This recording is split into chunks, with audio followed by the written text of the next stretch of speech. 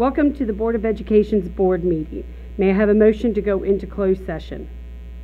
Pursuant to the general provisions, Article three three zero five and three one zero four, I move we go into closed session to discuss matters that relate to negotiations, to discuss appointments, employment, assignment, promotion, discipline, demotion, compensation, evalu, removal, resignation, or performance evaluation of appointees, employees, or officials over whom this public body has jurisdiction, and to consult with counsel. A second. All in favor say aye. Aye. All opposed say no. no. The ayes have it. We will see you back here at 6 PM. Welcome to the 6 PM open session of the Board of Education meeting. We would like to have everyone stand for the pledge, please. I pledge allegiance to the flag of the United States of America and to the republic for which it stands, one nation, under God, indivisible, with liberty and justice for all. Welcome to the September 5th Board of Education meeting. This is a public meeting that is being videotaped for county citizens to review on QAC TV Channel 7, a local cable station. The agenda is available at the door at the information table. During this meeting, we ask that you turn off your cell phones and hold all personal conversations and comments outside the meeting room. We, um, I'm sorry, I was supposed to say that before we pledged. I'll Take a pass, and we pledged early. Um, And I'll turn this over to Annette now. Oh, yeah, thanks. Now that I'm in my one little laughing fit over here. Okay, um, we have to, uh, do we have to, yeah, we have to change the agenda because they, oh, no, it's right on this one. I, um, I make a motion that we approve the minutes from August 8th and 29th. I second the motion. All in favor say aye. Aye. All opposed say no. The ayes have it.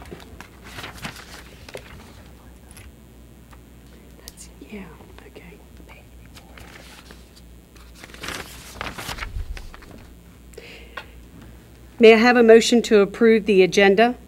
So moved. Second. All in favor say aye. Aye. All opposed, say no. The ayes have it.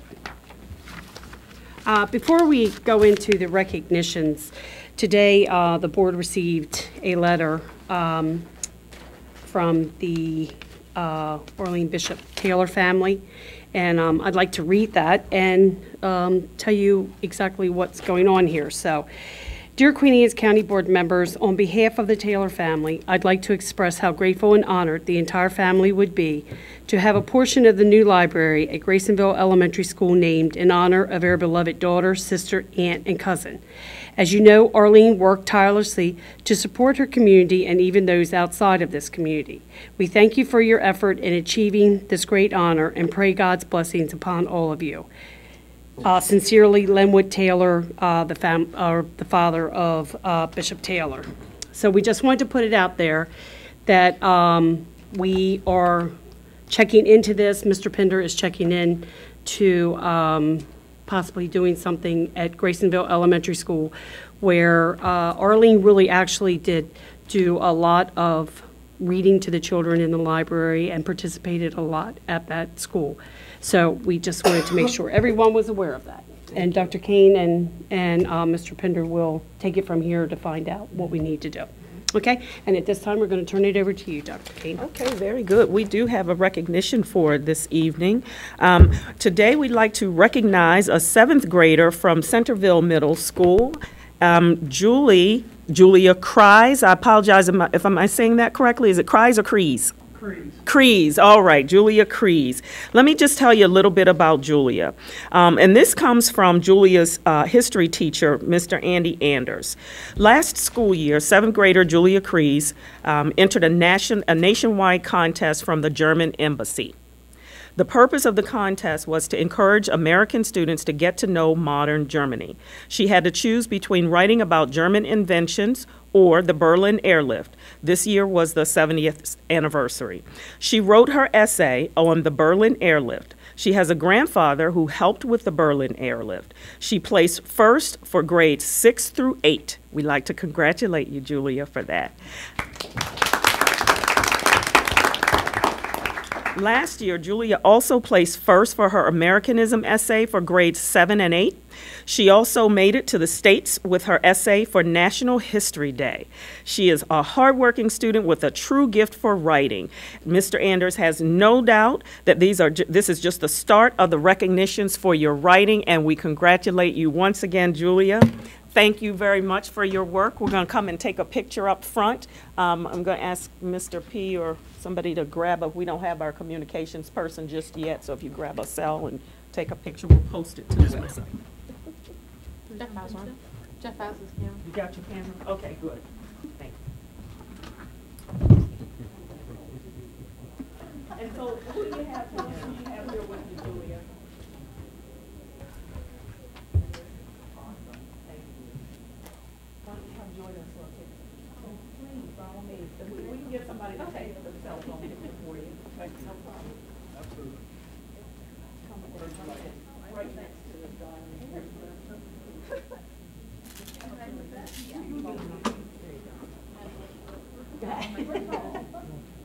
Through. Ready? Three.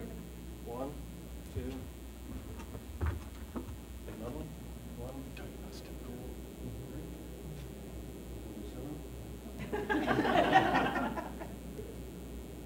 Thank you, and congratulations.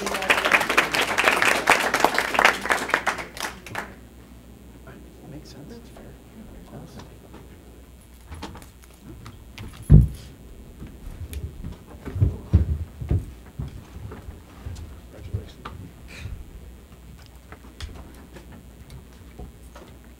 Congratulations. Um, At this time, we'll have the signing of the negotiated contracts for Unit 1, Unit 2, support Units 1, 2, and 3. Go ahead first. Mr. Pfister and Mr. Farley, do you want us to come down? Okay, Yes, please. give me a pen, because I bet he can go. Gotta be in a certain color. That's blue if you need it. I'm not sure what. I think it it has to be blue? I think it has to be black. Oh, you have a blue? Maybe it has to be blue. Which might be important.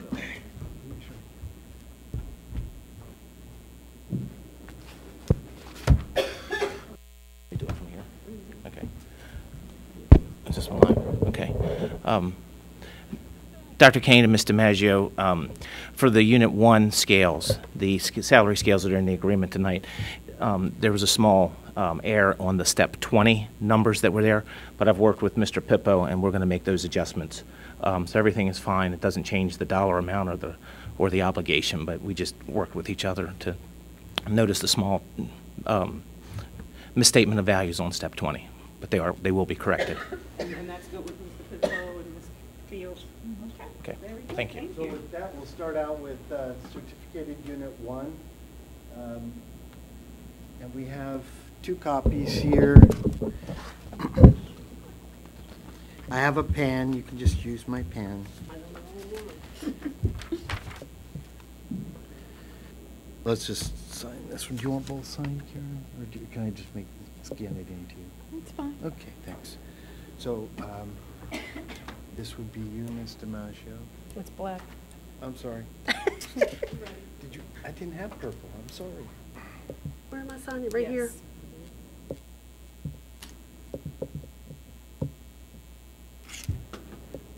Dr. Kane? Very many hats.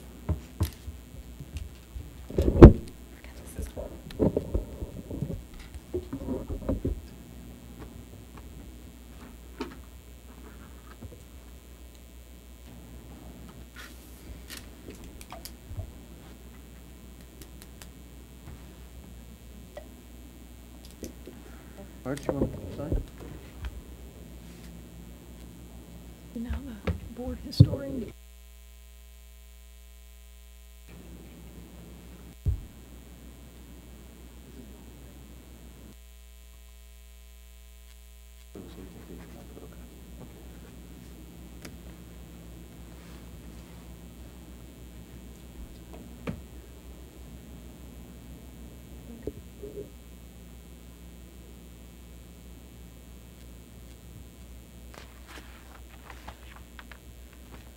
Anybody else?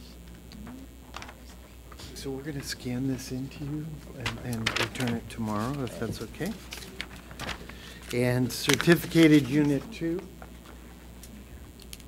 Oh, do you want to do, Well, no, we're. We have we're one, the- two, and three. Do you want to, they want to do the support units first, please bear with us, I'm sorry. We're already here. Okay, No, no intentional slight. So this is a second copy. Mm-hmm. So we have certificated, or support unit one. And here's the signature, let's see, that's the addendum. And That's the signature page right there. Black pen away.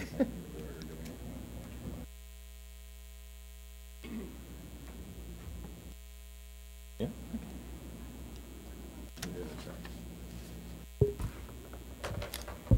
We'll do one, two, and three. Okay. Um, I would also like to thank the board for all your hard work that you've done this year.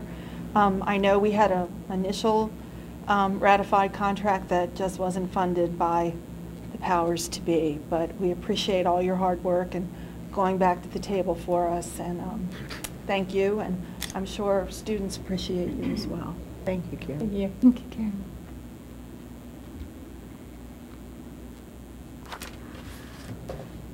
Go ahead, Vera.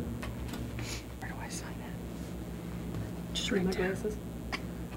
Right there. Yeah, sounds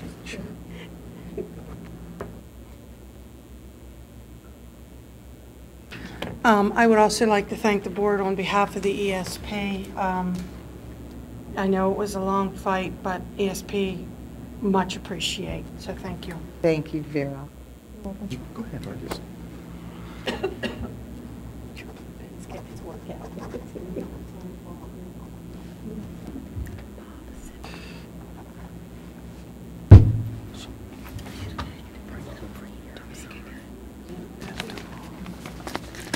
And so we're on support unit two. Again, we'll scan these back to you, Art. Here's the support unit two agreement.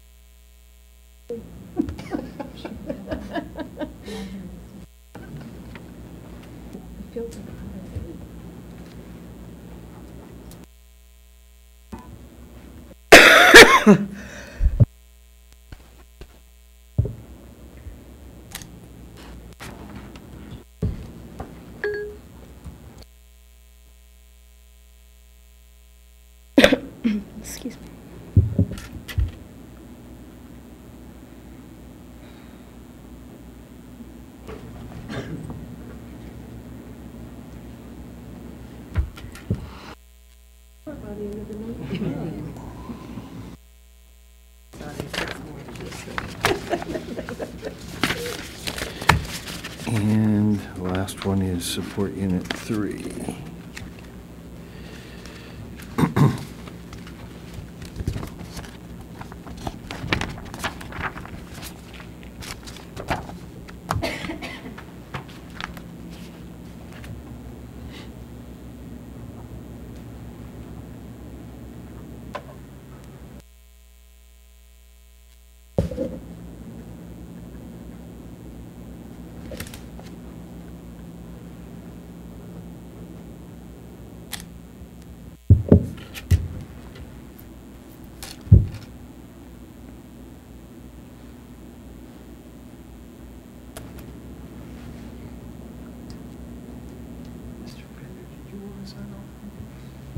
Fine.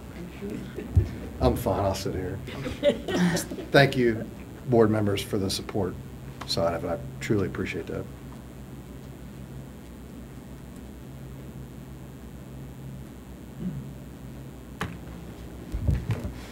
Okay, that's it.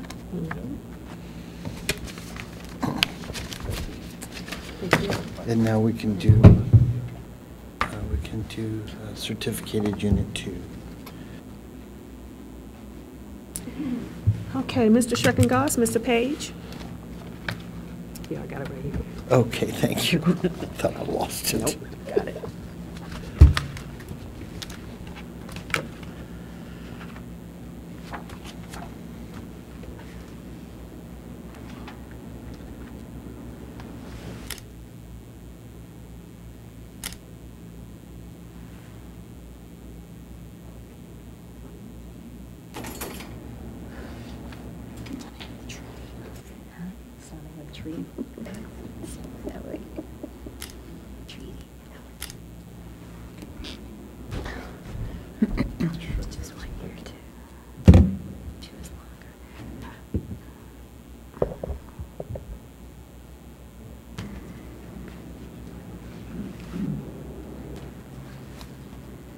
Scandia.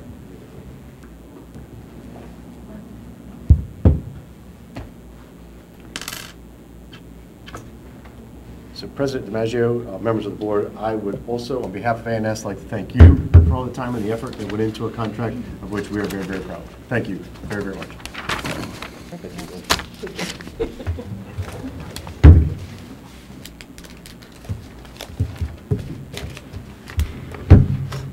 Almost the same template all the night.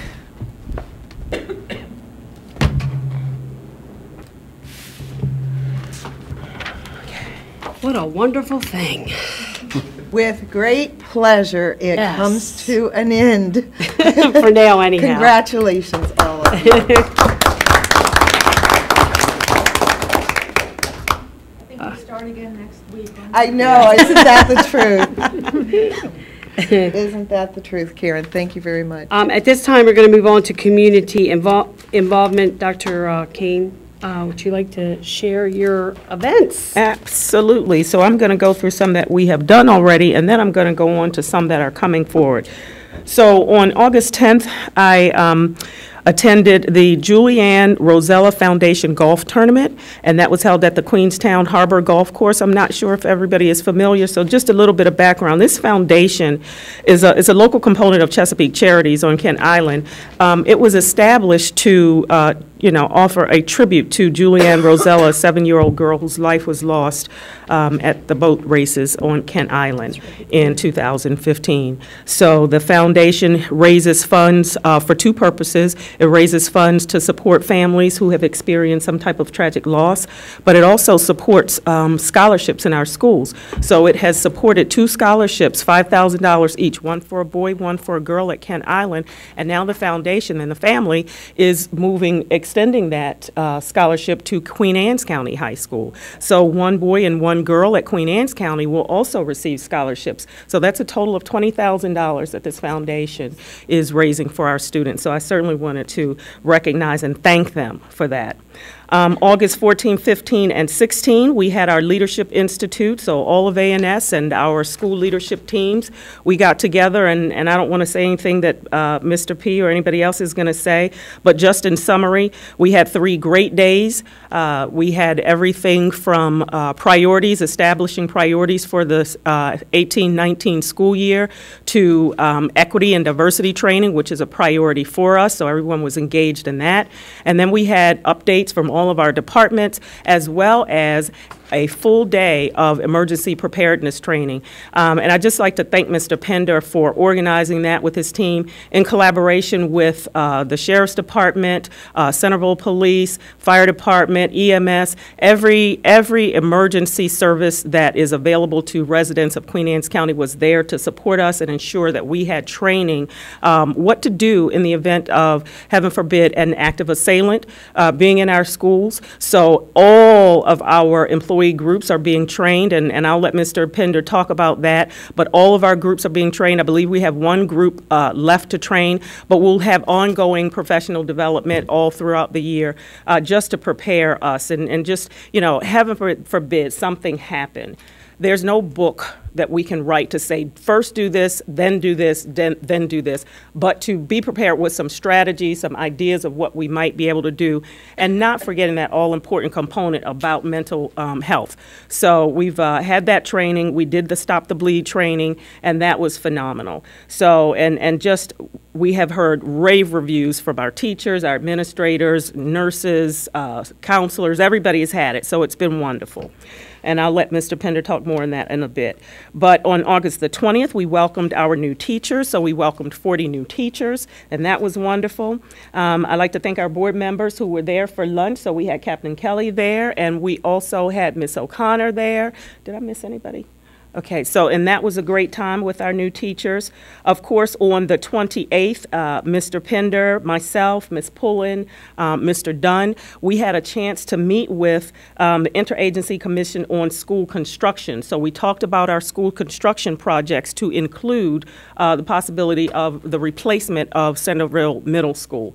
So had a lot of conversation, understanding what the new um, lead for the IAC is expecting. He's moving to uh, from a fund-based uh, program or model to a needs-based model. So that's going to be important for us as we continue to, to work on our projects and plan for our projects throughout the year.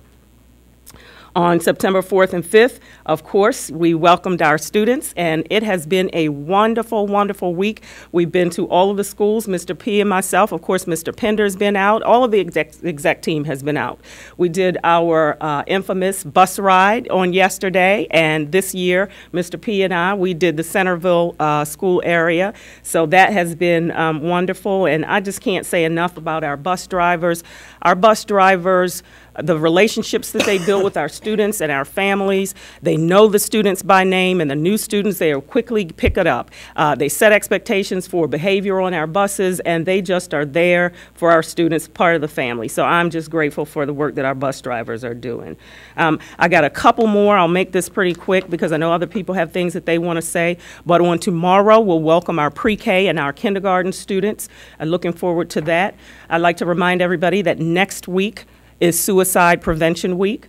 So please have that on your radar. We want to make sure that we're taking care of each other and we're doing some work with our students in the classrooms so that they are taking care of each other as well. Um, that's going to happen at both schools. We have, we'll start our um, um, Equal Opportunity Schools Work, which is a program that we're doing at both of our high schools to ensure that we have our minority students and our students who are not typically represented in advanced level classes. They'll be working with our staff at the schools to ensure that we are um, doing all that we can to ensure that those students are part of advanced level classes. So Ms. Teddy and Ms. Miles spread the word. Um, that's going to be some exciting work that we'll do. On September 12th, there will be a dinner and a lecture at Chesapeake uh, College by Dr. Eric Dyson. We partnered with um, uh, Margaret Tessier, who uh, she, she's been planning that um, event. Dr. Dyson, Eric Dyson, he's a very well-known uh, preacher, radio host. He's a professor at Georgetown University, but he's an author. He's an author of more than 20 books, mostly centered on racism in America and some notable African Americans. But it's going to be a very, very interesting talk that he's going to give, and I hope that all who are interested in equity and diversity make it out to Chesapeake College on September 12th. On the 25th, we'll have the League of Women Voters in our high schools. They'll set up tables for voter registration.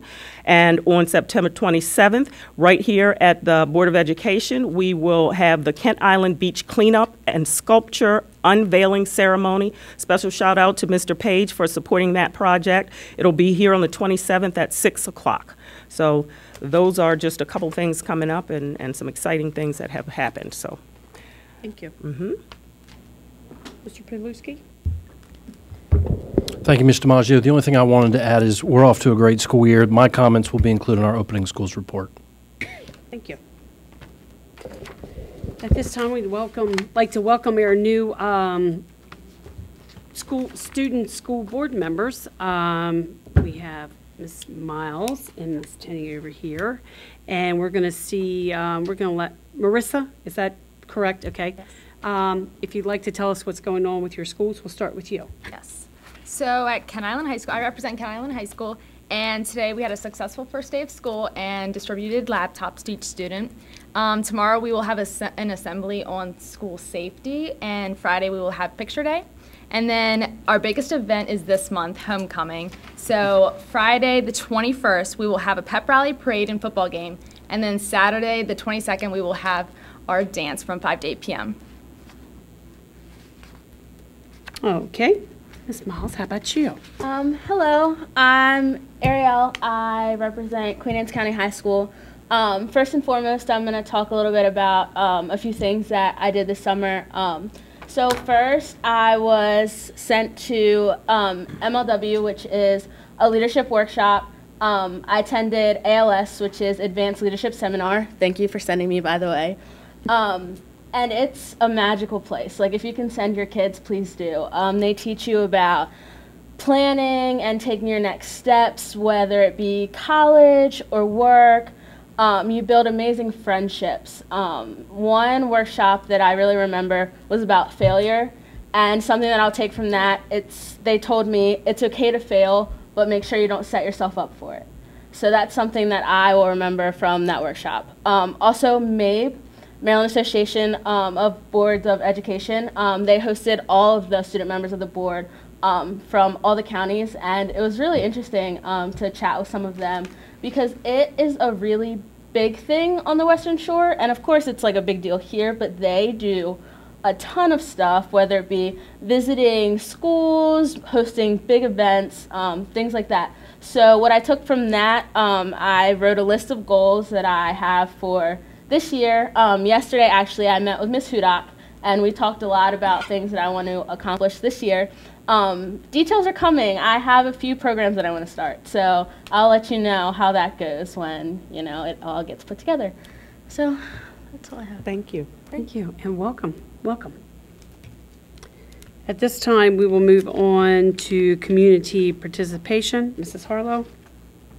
Thank you. We um, ask our speakers to keep in mind the following guidelines. Speakers should sign the roster, including their telephone, telephone number and their address.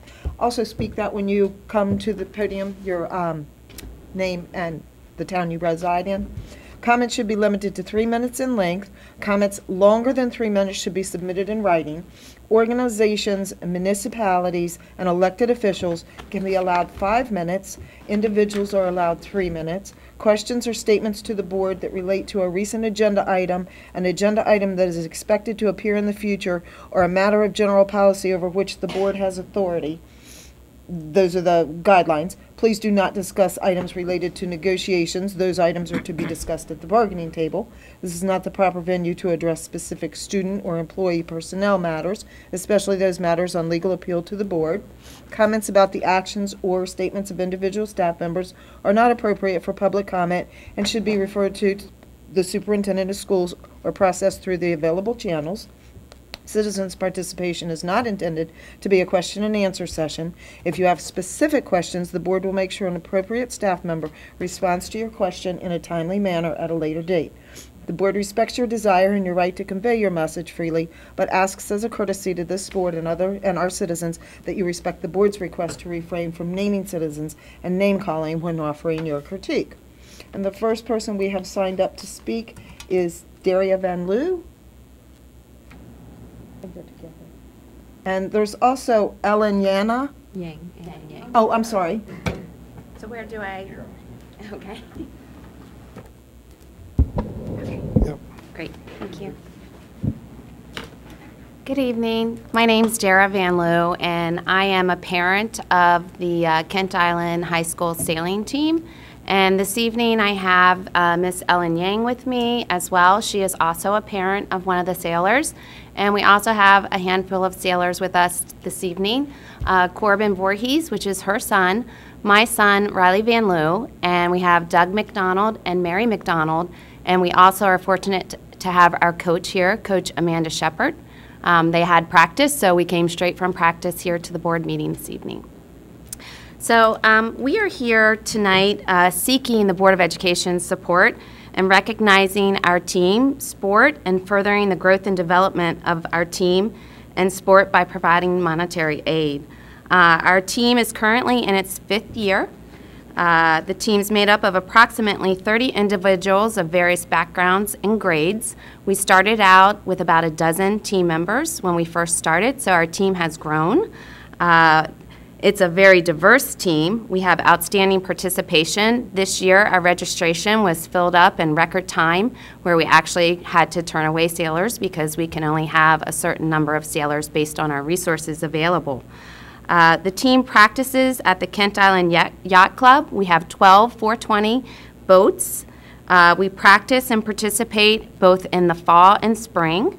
Uh, the team hosts two regattas each year as well, in the fall and the spring. Much of the support that we do in order to uh, carry out our program is done through volunteers and donations from families, relatives, and organizations. Um, in fact, the 12 boats that we have were actually donated by one of the families of the team. Um, the maintenance of our boats and docks is accomplished by volunteers. Transportation to and from practices and regattas is through volunteers. And up until two years ago, all of the coaching was in the form of volunteers. Uh, parents continue to volunteer to assist with coaching. Currently, we have one paid coach, but desperately need a second. Each sailor is required to have a payment of $225 each season for participation. Um, we also do conduct some fundraising activities. We've uh, done some concession stand manning at the high school as well as at our regattas. Um, so that helps us a little bit. So why is it important to support the high school sailing team? There's many reasons to do so, with the biggest one being what it does for the individual. Sailing provides valuable life lessons to include confidence, independence, respect for the environment, critical and strategic thinking, physical activity, teamwork, character building, and also a lifelong skill. In addition, it's an outstanding extracurricular activity for those seeking further education beyond high school. It's one of the fastest growing sports, uh, and the Annapolis, and Annapolis is really considered the sailing capital of the world. Our area has also become one of the most well-known and largest sailing racing scenes in the country, attracting college recruiters. For example, Stanford University sailing team signs one to two female sailors from the Annapolis region yearly. The regattas we attend have approximately 20 different schools, both private and public schools. We're proud to say that our team affords the opportunity for all students to, of various backgrounds to participate. We've been quite successful. We're 21, 21 Maryland school teams and the Interscholastic Sailing Association, and we've qualified to participate in the Junior Varsity State Championship every single year. Um, this year, we're sending two sailors to the Mid-Atlantic Laser National Qualifier, um, this is significant and it, it greatly impacts the, the reputation of our school and our community. The team is requesting that it be recognized as an official team sport and funded to retain our current level one trained and certified sailing coach and hire an additional level one trained and certified coach. Uh, the benefits of doing this would be extremely significant, would have a huge impact on our school and our, and, and our individuals. Uh, based on our research, other uh, high school sport teams of comparable size are receiving monetary support, and we're hopeful our team will too. In advance, uh, we appreciate very much your time and consideration of our request. Um, we do have a packet of information that we're going to provide to each of the board members, um, a letter that we have sent to other school officials, as well as pictures of the team, uh, the JV Championship Spring Regatta results showing how we finished in that um, regatta a description of the Interscholastic Sailing Association, um, our financial information, and also a recent article that was published on 10 socio-emotional benefits of sailing. Um, so we'll provide that to you, but at this time, I would like if uh, Doug McDonald, one of our sailors, could say a few words. So Doug?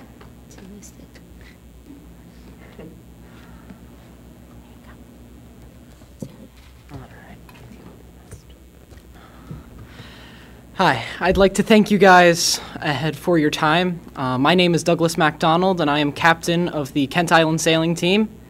And I'd just like to tell you a little bit of my experience on the team. I started in eighth grade, which also helps us because it gives the kids an earlier chance at the high school level to help learn because it takes a lot of time to learn the basics of sailing. And I've learned very well from the team, and I've had a lot of time to catch up and prepare myself for all of the events that go on, to face the schools that have been doing this for a long time, and to have success from it. I'd also like to talk about the teamwork because we all come together when it comes to the boats. There are two people in each boat, and they have to work together, work hard to strive and complete the races. Um, it takes a lot of guts because the boats themselves are. Oh my gosh, I'm very sorry. That's okay. Job. Doing a great job. No pressure. That's all right.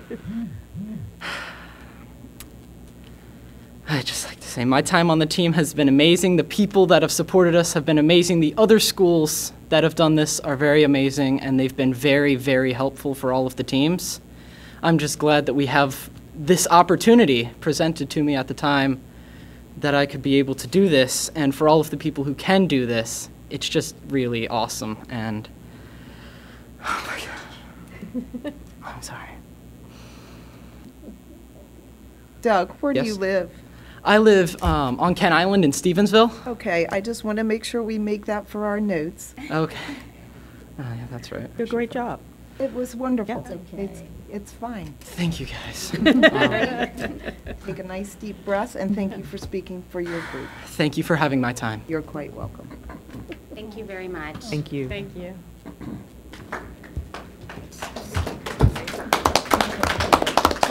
Next um, person signed up to speak is Richard McNeil.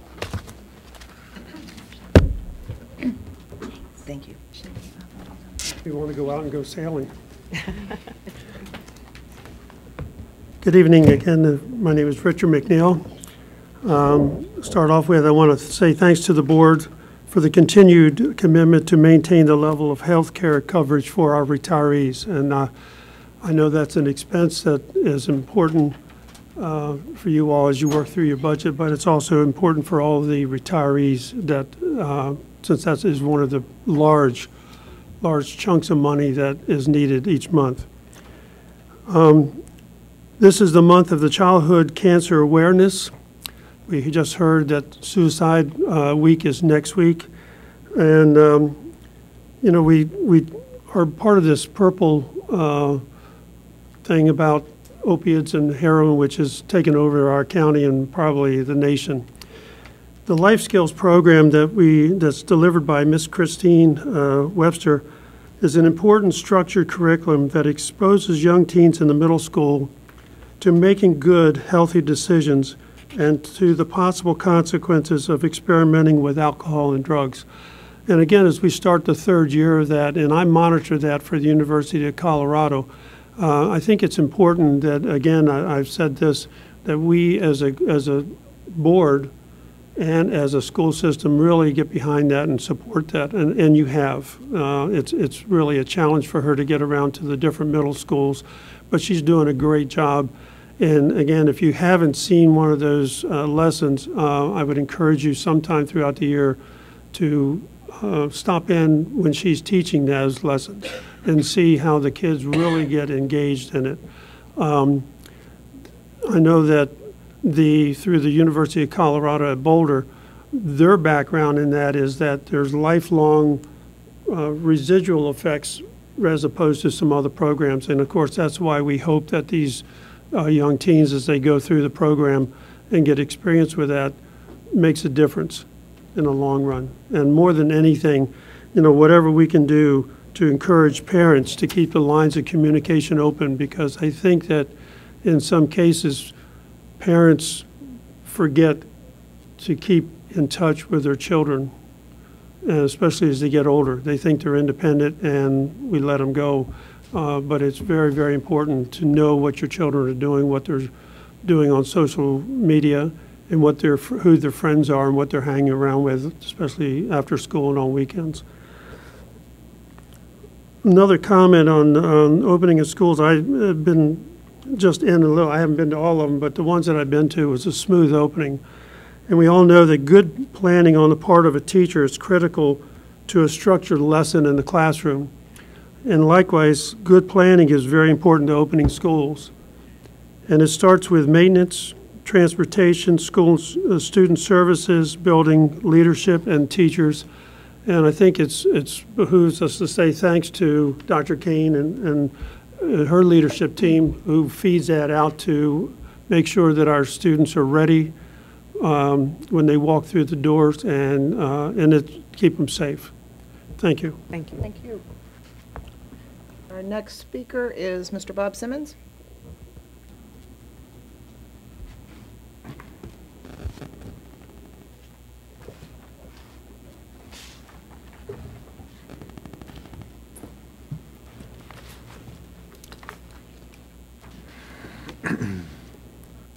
Um, my name is Bob Simmons, and uh, I live in Centreville and was here uh, last month talking about the Kirwan report and would like to continue that. Last month, I gave you some background on the Commission on Innovation and Excellence in Education and its preliminary report called the Kirwan Report. The summary page of the report shows the committee has chosen nine building blocks for a world-class education system and on the same page in the left-hand column arranges them by five major policy areas. At the top of the main policy area column is early childhood education. To the right of it, it's building block one, provide strong supports for children and their families before students arrive at school. On the left, on the policy column, it says ample supply of highly qualified and diverse teachers and school teachers. And on the right building block, five, assure an abundant supply of highly qualified teachers. Six, redesign schools to be places in which teachers will be treated as professionals with incentives and support to continuously improve their professional practice and the performance of their students. And eight, create a leadership development system that develops leaders at all levels to manage such systems effectively policy area. College and career readiness pathways, building blocks. Three, develop world-class, highly coherent instructional systems. Four, create clear gateways for students through the system, set to global standards with no dead ends. And seven, create an effective system of career and technical education and training. Policy, more research resources for at-risk students. Building block. Two, provide more resources for at-risk students than for others. Policy, governance and accountability. Building block. Nine, institute a governance system that has the authority and legitimacy to develop coherent, powerful policies and is capable of implementing them at scale. There are a lot of great ideas in this proposal, but there is no unanimity among the authors of it, and particularly not among the legislators who will write the laws enabling it. There is lots of opportunities for us, the citizens of the state living near Annapolis, to learn about this proposed plan and influence our legislators and other state le legislators as well to give us a better education for the dollars they're going to spend not just pile more dollars on a subpar framework. Thank you. Thank you. Is there anyone else who would like to speak? That closes our public comment. So at this time, we'll move on to presentations. Dr. Kane, at this time, will you introduce your presentations? Absolutely. We will start with our uh, report on um, readiness for school opening, and of course, this year again, our board meeting fell on um, a day right after school opened, so we're still going to share with you our preparedness and uh, things that we can look forward to for this um, school year. So we have Mr. Paluski, and we also have Mr. Michael Bell, our um, new supervisor for so many things. So we've got fine arts, we've got media services in there, we've got, how, what else do we have in there? he corrected me one day. We were we were talking to a group, and there are so many titles he has. Uh, so he, he'll he'll be in there with the Bridge to Excellence. But uh, for now, we've got my exec team. So Mr. Pinder, Mr. Paluski, Mr. Pfister, and Mr. Farley. Three P's and Farley. Yes. Three P's and an F. Wow. Sorry. Good evening. Good evening, President DiMaggio, Vice President George, board members, Mrs. Harlow, Captain Kelly, Mrs. O'Connor, and Superintendent Dr. Kane. For the record, my name is Greg Paluski, Deputy Superintendent, and I'm honored for our executive team members to share with you this evening our opening of schools report for the 2018-2019 school year. Joining me this evening are my colleagues, Mr. Sid Pinder, Chief Operating Officer, Mr. Mark Farley, Director of Human Resources, and Mr. John Pfister, our Chief Financial Officer. The purpose of uh, this report is to update and communicate with you, as well as our entire community, key aims from the Departments of Curriculum Instruction, School Operations and Management, Human Resources, and Budget and Finance. We'll begin with the areas that are under my responsibility. Instructional leadership. A key component for a successful school year started at our two-day June Leadership Institute.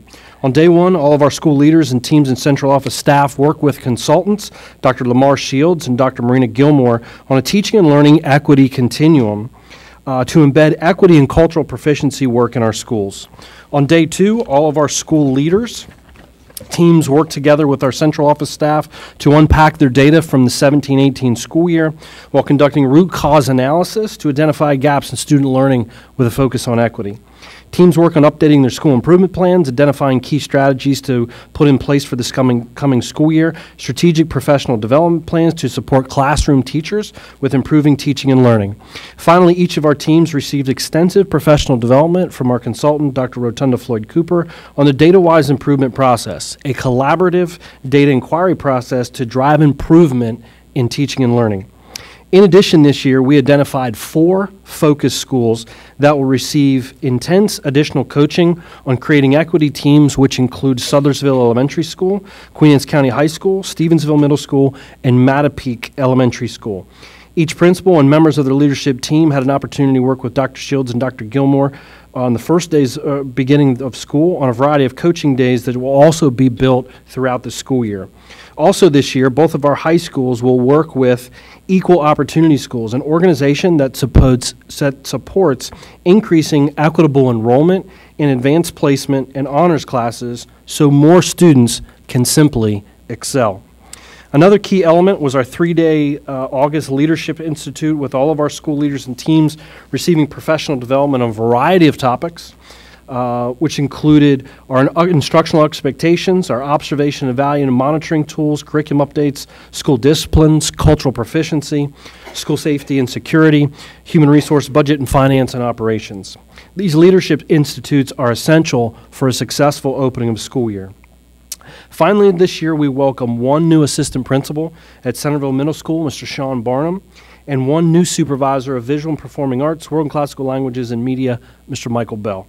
Both these individuals are doing an exceptional job in their new roles, and we look forward to their leadership this year. Curriculum instructional tools and assessment is outlined in the 2016 curriculum management audit. A key focus was to develop aligned, high quality curriculum documents for teachers to follow. This summer, a, a, dynamic and dedicated curriculum instructional supervisor team led multiple curriculum writers and revised over 57 different curricular documents. These documents are key in providing teachers with clear expectations and standards to teach, options to deliver, and obviously multiple ways to assess student learning. All key, all key ingredients to student learning. Also, our supervisors worked with our writing teams to advise our, a variety of assessments to accelerate the, uh, and measure learning. Our curriculum writing teams embedded technology tools, strategy support teachers, and options on how to deliver particular standard in ways in order to differentiate. Materials of instruction. One of the major new uh, materials of instruction that was adopted in 1819 school year is for grades 6 through 8 middle school science. The Issues in Science series adopted by the Science Education for Public Understanding program was related at University of California, Berkeley. This program, very interactive and engaging, is a great opportunity for students to learn and engage in the next generation science standards. Two other key areas of new materials of instruction included United States history, Spanish 1, and French 1. All of our teachers were provided professional development on these new materials. Instructional technology students in grades 5 through 8 will receive new Chromebooks this year. An improved maintenance package has been purchased, should significantly improve the durability, cover repairs, and reducing the time to repair damaged Chromebooks. The Chromebook insurance will be provided at no cost to our families, and the protective case will eliminate the need for a computer bag. The updated technology plan incorporates a lease agreement and provides an opportunity to lease new devices over a four-year rotation. Each middle school will have over 60 new loaners, and each elementary school and fifth grade class will receive 15 new loaners as well. School improvement. This year, we continue with all of our schools and our leadership teams to incorporate our second year of our, super our superintendent monitoring visits that will, that will take place twice a year. The purpose of each visit is to continue to monitoring school improvement and strategies and the alignment between the principal and the teacher SLOs to further unpack their data to improve student learning in a variety of key areas in which we'll talk about later in the next presentation. With that said, um, Ms. Pauls, our Program Director of Teaching and Leadership Development, will be instrumental in monitoring visits and providing direct support to all of our schools through her supervision of all principals this school year. Finally, in professional development, this year we welcomed 40 new teachers, which is exciting. Ms. Pauls, Ms. Bridget Passon, and Ms. Susan Walbert, both supervisors, uh, had a variety of uh, weeks of activities, onboarding activities for all of our new teachers, as well as our supervisors. Our talented pool of new teachers entering our organization adds a level of excitement to support our next generation of QACPS teachers. And finally, August 28th and 29th, uh, the Department of Curriculum Instruction provided over 60 different professional development sessions to all of our teachers and instructional support staff, principals, assistant principals, and academic deans. Topics included curriculum, modeling lessons, assessments, and new strategies, all in an effort to close gaps in learnings. In summary, we're off to an outstanding start to the 18-19 school year, and I look forward to supporting the great work that is taking place in our schools each and every day by our teachers, our administrators, our supervisors, and our support staff. Good evening, board members, Dr. Kane. My name is Sid Pinder. I'm Chief Operating Officer for Queen Anne's County Public Schools. And I just want to touch base on some of the areas that I cover um, and give you some highlights of uh, some accomplish accomplishments this summer. Um, the summer maintenance construction projects, we had Graysonville Elementary School, which opened up on time with the sixth classroom addition. If you get a chance, it is beautiful. Um, Miss Carla Pullen did a great job with that. It also has a new playground, uh, basketball court outside, We've been very, very pleased with that. Um, we've also had Sudlersville Elementary School. We are currently uh, replacing the exterior doors. Um, we are also replacing the flat roof. Th both of those projects are just about done. Um, and keep in mind that the funding becomes available July 1st. So by the time that you get the funding and then get the contract signed and get on the contractor's you know, timeline, things are going to push back into the school year, so it's not always going to be complete before school starts.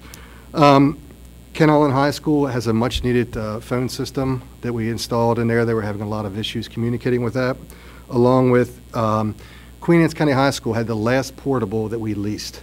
We were able to remove that portable that has been there for many, many, many years um, and replace it with one that we owned at Graysonville Elementary School. So now we own all I believe it's 32 portables. Um, we do not lease any of them. Along with that, if you go to um, Queen Anne's County High School, their gym floor was uh, sanded down completely, repainted, refinished, and I tell you, it looks it looks beautiful. Great. It it um, really stands out. We did that a few years ago at Kent Island High School. We were able to put Jody Hyde's signature back on there and add a few other components to help out with the phys physical education classes also that was a, a great accomplishment. Um, Centreville Middle School got a new lunch line. Bayside Elementary School, we try to remove as much carpet as we can from the buildings, and that was the last two main hallways that we had that had carpet in there, and we were able to remove that and uh, put tile in, and it, it, not only is it better air quality, but it looks fabulous. Uh, very nice job by Carla Pullen. Um, along with that, we were able to do a a few small painting projects at Queen Anne's County High School, Sudlersville Elementary, Kent Island High School, and kind of spread that out. We still have a lot of projects coming up with the facility assessment money that we received that we'll be you know, getting into. Um, so I want to give a shout out to Jim O'Donnell and his maintenance crew. I mean, and Carla Pullen, wonderful job. Um, it's not easy because we only had 34 days this uh, summer, 34 working days to get the buildings clean and ready to go. Since I've been in this position, that's the lowest amount of days we've ever had. Um, Normally, we have around 39, 41, 43 sometimes. So it was really crunch time. Uh, David Carter and his uh, custodial crew cleaned 1.4 million square feet.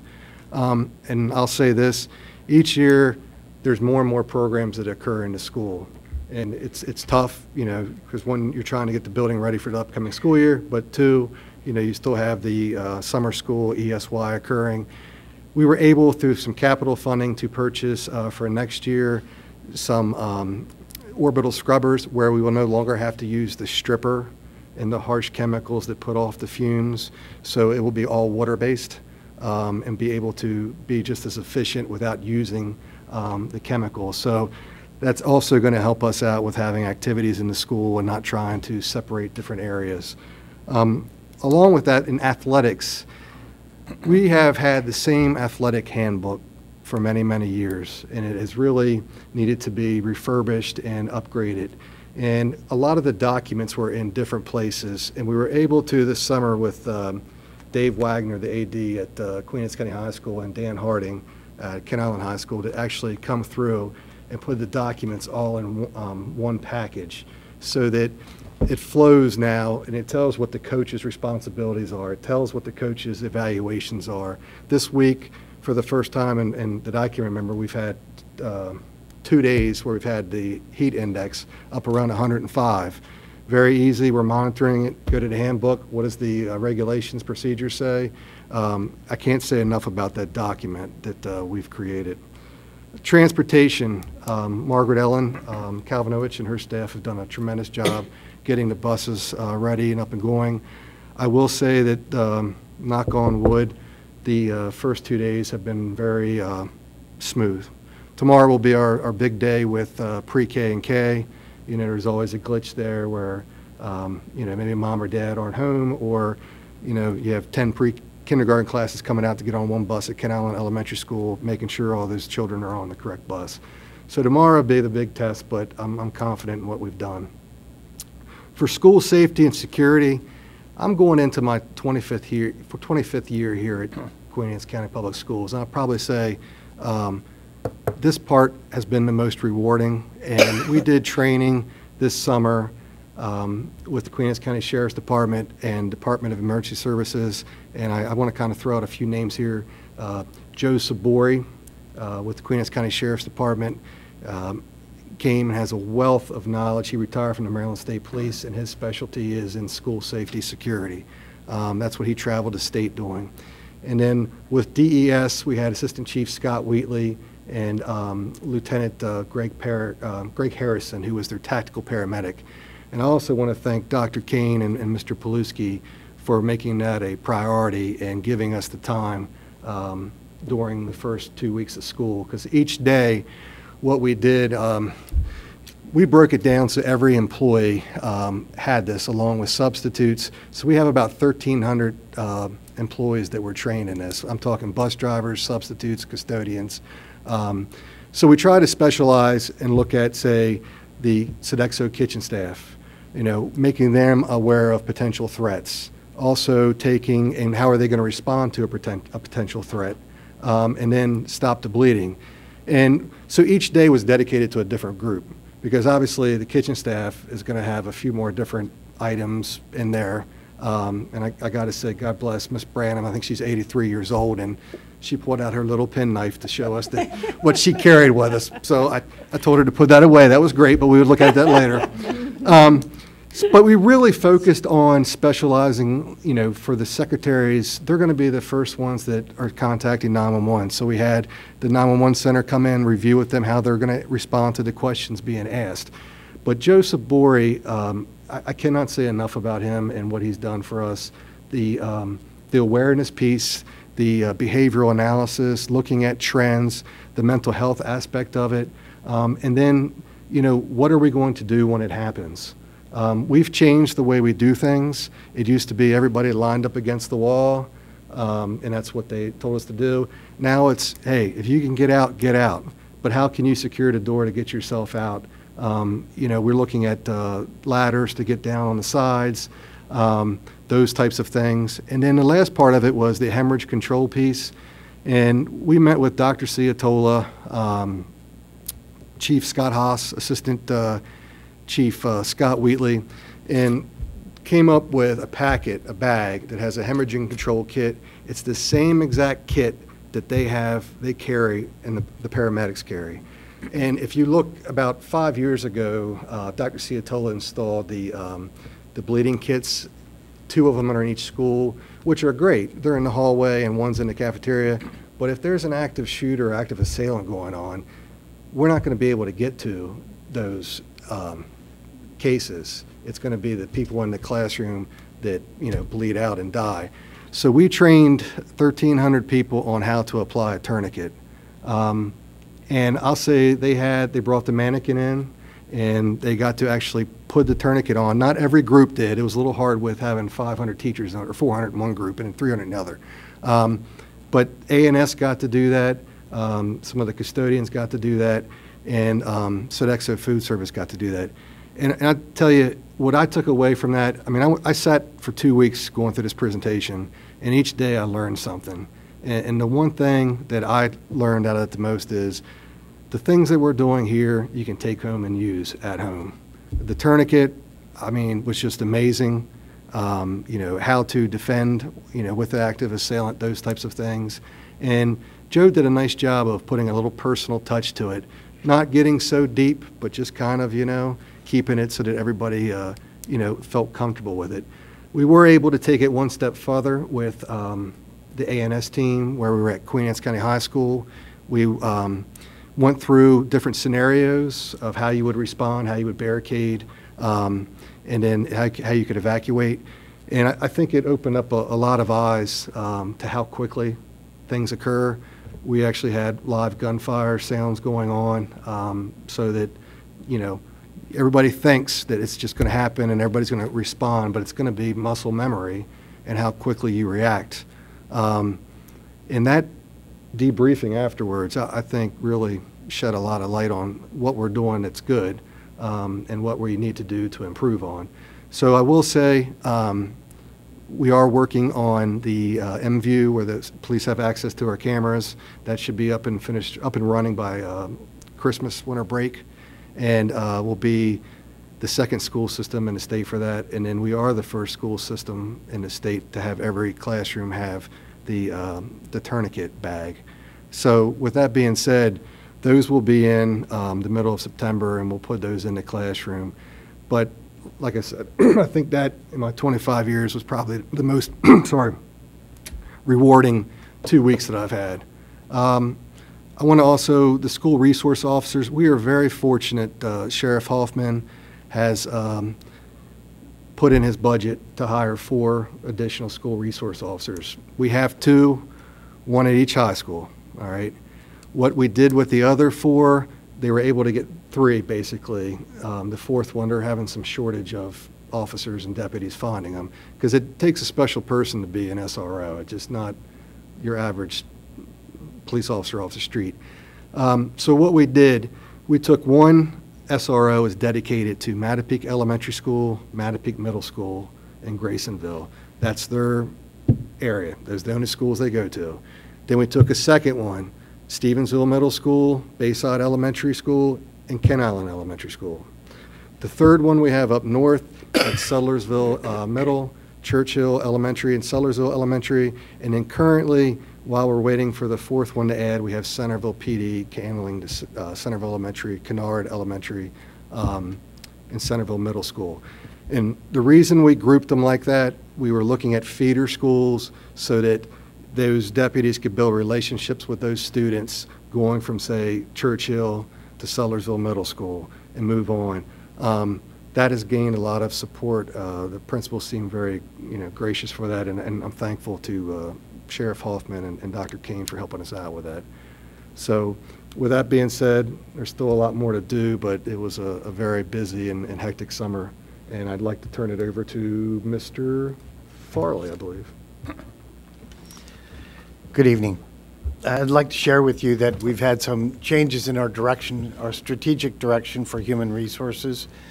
Um, I don't think my updated slides made it in here, but um, I, am pleased to share that uh, really a commendation for um, Mr. Pinder and Carla, uh, we were able to write a grant to convert from our um, badge pass system to the T-Pass system.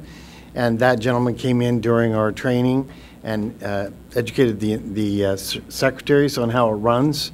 The older system wasn't really functioning well, and this new one creates great capacity for letting everybody in a building know if there's an evacuation, including a visitor, um, and a really much improved security protocol for visitors. So I I really want to thank Mr. Pinder and the Operations Department as a whole for teaming up on this important improvement, and the bulk of it was paid through grant. So with regard to, um, with regard to recruitment, uh, it's our commitment to advertise teacher and administration positions in a way that results in greater diversity in our applicant pool, as well as growing our own people uh, through uh, emphasis on advanced certifications, uh, additional professional development coursework, to ensure that we have a cadre of leaders that are diverse, just as we want a cadre of teachers that are diverse.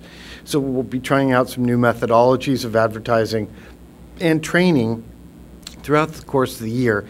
We will rely more heavily on a series of online courses that the executive team is currently vetting. So we'll probably spend the rest of the fall vetting all these courses. And when we find those that are particularly effective, we'll find ways to roll it out. For support employees, for them to do it during the course of their workday. They're not very long courses, most of them about 20 minutes.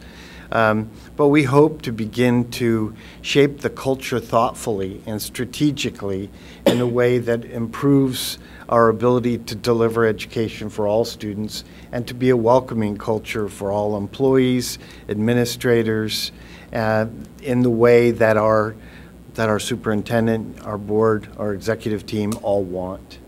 Um, with that, um, I would simply say that we will create a cultural metric um, where we want 100% of our folks to have been trained in certain things like harassment, discrimination, emphasis on policies and policy rollout that helps people understand not only their legal obligations, but the benefit of cultural equity in our school.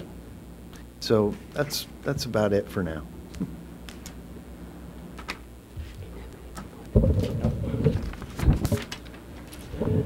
Thank you, Mr. Maggio, Dr. Kane, members of the board. I just wanted to share a few things of what I consider uh, some of the foundational things from a school system standpoint. I consider us sort of the bricks and the mortar that are holding everything else up.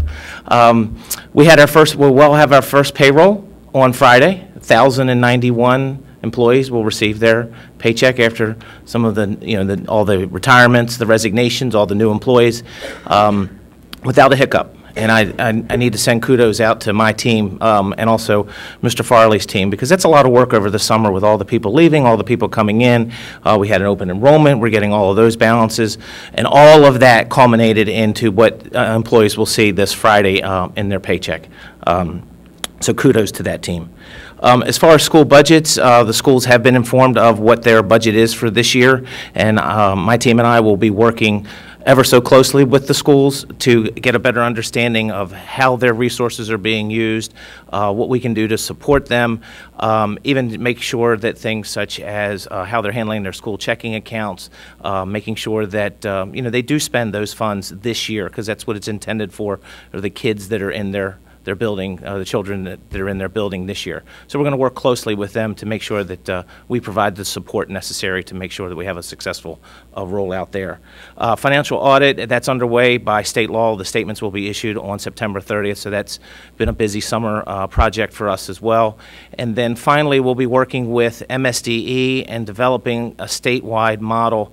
Um, all of the CFOs from all of the counties have been working with MSDE over the last year to develop a statewide model because the new ESSA requirement will require that school-level um, spending be published on the MSDE website. So you will be able to see exactly per pupil, per school, um, the spending there. And there is a model that we've been uh, working with to develop with all the other counties, because we all do our fin- finances differently as far as our financial systems are concerned. Some of us charge benefits to the employee level, some just aggregately. Um, So we have to come up with a model that adequately uh, reflects the spending, um, so we can make sure that we have, you know, adequate data out there. And that's about it for us. Thank you. Thank you, team. And I- I'd just like to thank each of you because it is a phenomenal amount of work, I recognize, but you have awesome teams that surround you and support you and make sure that our employees and our students get what they need. So thank you, thank you each. Um, And I'd like to open up for questions for, from our board One members. question. Mr. Pinder, here we go with doors again. Sorry. Are we getting doors for here, secure doors? Yes, so. For here? I believe it's September 23rd. um, We will start work here, and there will be a secure vestibule at the front where somebody will be buzzed in. They'll be locked into that vestibule, then they'll show their credentials and all that, then they'll be buzzed in to the actual building. Okay. All the other perimeter doors will be only by card, uh, proximity card. So um, that was the last piece to the, um, right now they're doing Sudlersville Elementary School doors. Right. And then, once that's complete, they'll be here, in about, I think it was September 23rd or Okay. 24th was the date supposed to start. I'm just curious as to, that, That's that a it's good being question. done. Yep. So, Is this staff getting, like, like Jackie, getting the training So, for? in September, towards the latter part, we're going to do the, the training here for that, for Okay. Board of Ed also. Sid, how are the SROs going to be shared between their three schools, basically, that they're going to be covering at the middle and Just on a elementary ro- On a level? rotational basis. Um, Day to day? Yeah, it'd be every day that students are in the building, um, and I've asked for them to, you know, they're not there to direct traffic. I mean, they're there for school security and to build those relationships with, with the students. So will they spend a whole day in one school and then go on to the next, the next, or three? They're gonna divide it up during the day. In that day? In that Okay. day, yep. So we're kind of fortunate because, say, at Stevensville Middle School, it opens earlier than Bayside and Kent Island. So, you know, that time is kind of crucial, having somebody there when people are coming through the doors. So having that deputy leave from there, then go to the two elementary schools, you know, is kind of a win-win for us. Um, You know, right now, the state with the, uh, their new, the 2018 uh, school safety um, bill that was passed, they require you to have one in every high school. They don't require you yet to have one in every school. And if you don't have one in every high school, they want you to have a plan uh, that is basically for sufficient coverage. Um, And we're, we've- we're ahead of the ballgame. I mean, we're very fortunate to have those, those three SROs, um, when- especially when they're short on staff there, so uh, we appreciate that. Mr. Paluski, how were the four schools that were chosen for your module chosen? Sure. Sorry, sir. Well, one, we, we took a variety of, of factors into consideration. One, in leading any initiative starts with a leader. So that was one certain thing that, that we took a look at. Uh, one, to be able to get buy-in uh, from that individual leader that's going to be working with those schools. Um, the second thing is we had to look at schools that had already started this work. You know that this isn't this isn't anything new as far as our work around equity. Some schools are further along than others, so that's a factor that we had to take a look into when we worked with the Campbell Joneses a, a few years before and we started this work. Uh, so we felt that these four schools um, had a little bit of a, of a jump start, so to speak. Uh, the leadership would be a second issue. Um, and I think the third issue that you know, sometimes when there are equity issues that come up and, and rise to our attention. And I think, you know, those are other factors that we had to take into consideration. Okay, thank you. Mr. Pfister, I had a couple questions that have actually been queried by a member of the community. Um, I know that the, um, the association dues are, when people join the association, they pay dues. Those that choose not to join have to pay a fee um, because they benefit from the decisions the association makes. Um, But there was a recent Supreme Court decision where they were no, no longer, they're actually required, I think, to um, pay that fee. They no longer are required to pay that fee. My question is, has that come out of, it- we, the- our school system automatically deducts that money from their pay. And I just wonder if you've had the process of asking them if they want to be a member of the union, or does the union do that, or how do we work that so So- that our employees can get their money if they're entitled to it by now? So those deduct, those deductions don't come out until November of every year. I think it's 14 pays, November through June is when those deductions come out. And I- what you're referring to is agency fees, and we are no longer allowed to collect agency fees. So we were working with the unions, um, that we've received some, um, some new paperwork for some of the new teachers to join the union, and then there have been some people who have submitted paperwork that um, they no longer want uh, any type of deduction. But as far as those that have agency fees, nothing's required of them because we, we will not deduct that. If they want to change that agency fee into a deduction, they would have to go through the union to submit us their paperwork. Okay, well, and just for the sake of the union, I want to make sure they're, um, they're notified, um, and hooked in with the union, because they may decide, yeah, I I like what I was getting with the fee, I'd like to join the union now, that would be. Yeah, they would work directly with the union if they wanted to decide that. Because some people just don't know, Yeah, I think. yeah. They would need to work directly with the union, and I think the union has made some outreach to new teachers and things like that. Okay. Captain Kelly, the language in the collective bargaining agreement was called representation fee. Yes, And that was deleted from the collective bargaining agreement by mutual agreement in the wake of the Janus decision. Right, I just wasn't sure if it was hap, it happened this year then, so, okay. Um, and then I had one other question that was inquired by another person, um, that you said the financial audit is underway, but I was, they were under the impression that it was already done, and Okay, it's going so to be addressed by the the one thing that I press. didn't address was the legislative audit that was going on for a year that did complete this year. Um, And I, I think I sent all the board members a link to that report. Um, It's out on the um, legislative auditors, uh, auditor's website. What I'm referring to is our annual external auditor goes through our financial, you know, and, and comes up with our financial statements and everything like, that's required by June 30th. That is not done. So we Required did by have what? two. June 30th? I'm sorry, September 30th. Oh, okay. Um, There are two audits that we did this year. Well, we go through multiple audits, but I think the one you're referring to, the one that is done, is a legislative audit that um, we had responses to them. I think it's dated Au- August 4th or something like that. But this financial review here Okay. is our annual, we go through it every summer, and, Well, Maybe I missed it, but were we briefed on the results of that legislative audit? yes, ma'am. We were, okay. Just I might have recently, I missed mean, you just recently sent us the, Just the sent link. it. uh-huh, the Okay, but it information. hasn't, we haven't done a presentation We to haven't the done that. public.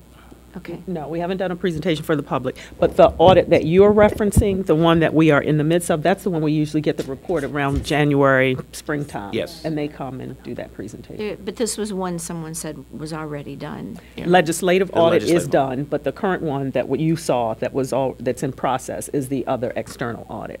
Okay, so in the, um, um, in one of our future, soon future meetings, I, I would like us to brief Absolutely. that, please, the legislative one that's been done. Um, And Mr. Paluski, just one last thing is, Mr. Simmons has, makes a point, you know, briefing us, you know, of- on the Kirwan report, and it, ex- I mean, extremely complicated. Do we have a- some kind of a individual designated to, to be up on that too? And, and, because our board will need, possibly need some advice as to, the, the goal, I think, of Mr. Simmons is, we have to get engaged with our, with our people in, in, in Yeah. in Annapolis and and encourage them No, school system, school districts don't have a person who is uh, appointed, you know, to do that work.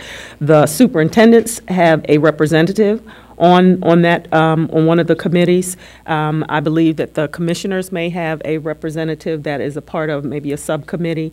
Um, So there are various people, whether it's educators or um, our political leaders that are involved in that work. And so, yeah, so one of the things you could do is, is to contact a political leader. Superintendent's group has already uh, written a letter to um, the commission expressing our thoughts and, and what we thought we might be able to support, and one of which, of course, is it's different in every district because, take for example, the early childhood that Mr. Um, Simmons spoke about. You, you, you know, everybody wants to ensure that we have appropriate early childhood education, um, and some districts are able to do universal pre-K and, and those kinds of things, and some have an issue with space, as we would. Um, and so that would represent an unfunded mandate. There's a fiscal impact for those kinds of things. So superintendents have, you know, and various groups have supported one facet or another of, of the Kirwan Commission. That work, as you know, continues to be underway. It was delayed for some time, um, but they've met again and they've started to meet once again. Once again, the superintendent's group last week submitted um, a, uh, a letter in support or not in support of certain facets of that. Um, it was a very quick turnaround, maybe about uh, four, five days that they needed that as we were opening schools. So we don't know what's going to become of those recommendations. Uh, they are due to have a report to everyone in um, December of this year, so we shall see. Well, on the, uh, being on the legislative committee with May, they discussed that, and I'll try to bring things back to the board to where letters we may, may want to submit. They are, they're periodically ask for, um, all of us as, all the districts in Maryland to, to write letters, each, each individual board, um, in support of some of the initiatives that they're, so I'll keep an ear out for Mhm. ones that we could, we could participate in as far as, you know, trying to, to get the information to our, our legislative um, folks. And, and once I have it, I will share the letter from um, the superintendent's group, PSSAM. Yeah, that would be great. Once great. we have it. Mhm. Okay. We meet next week, so hopefully we'll have it then. Okay, and this year I would hope that we could be a little more active with meeting with our, our uh, legislative folks in Annapolis. Um, So- There are opportunities Yeah, that come up, yeah. and we have not as much, and then I'm hopeful we can do it in the That- future. That'd be great, because our superintendents, we met with them quite frequently, and um, we were on a um, monthly lunch. We had lunch with them monthly, and we went down several times, so we were able to maintain those kinds of contacts. So that was good. It'd be awesome if our school board could do the same. Okay, thank you. I did have one question, if that's okay. Um, It has to do with the school resource officers, and I'm glad, you know, that we have three, soon to be four. And the question I'm often asked is, you know, can we get more? And it's always, I think, about financial resources. Right now, those salaries are coming out of the sheriff's budget, is that correct? Correct. Okay. If we were to move in a direction of adding more, what do other counties do? Are they often funded through sheriff's departments, or do the Board of Ed, being um, the folks that are benefiting in some way, contribute financially to these positions? I, I just don't know how other counties have it lined up and what we would be looking at in the future, Some- budget-wise. Some are solely provided by the police department or the sheriff's department.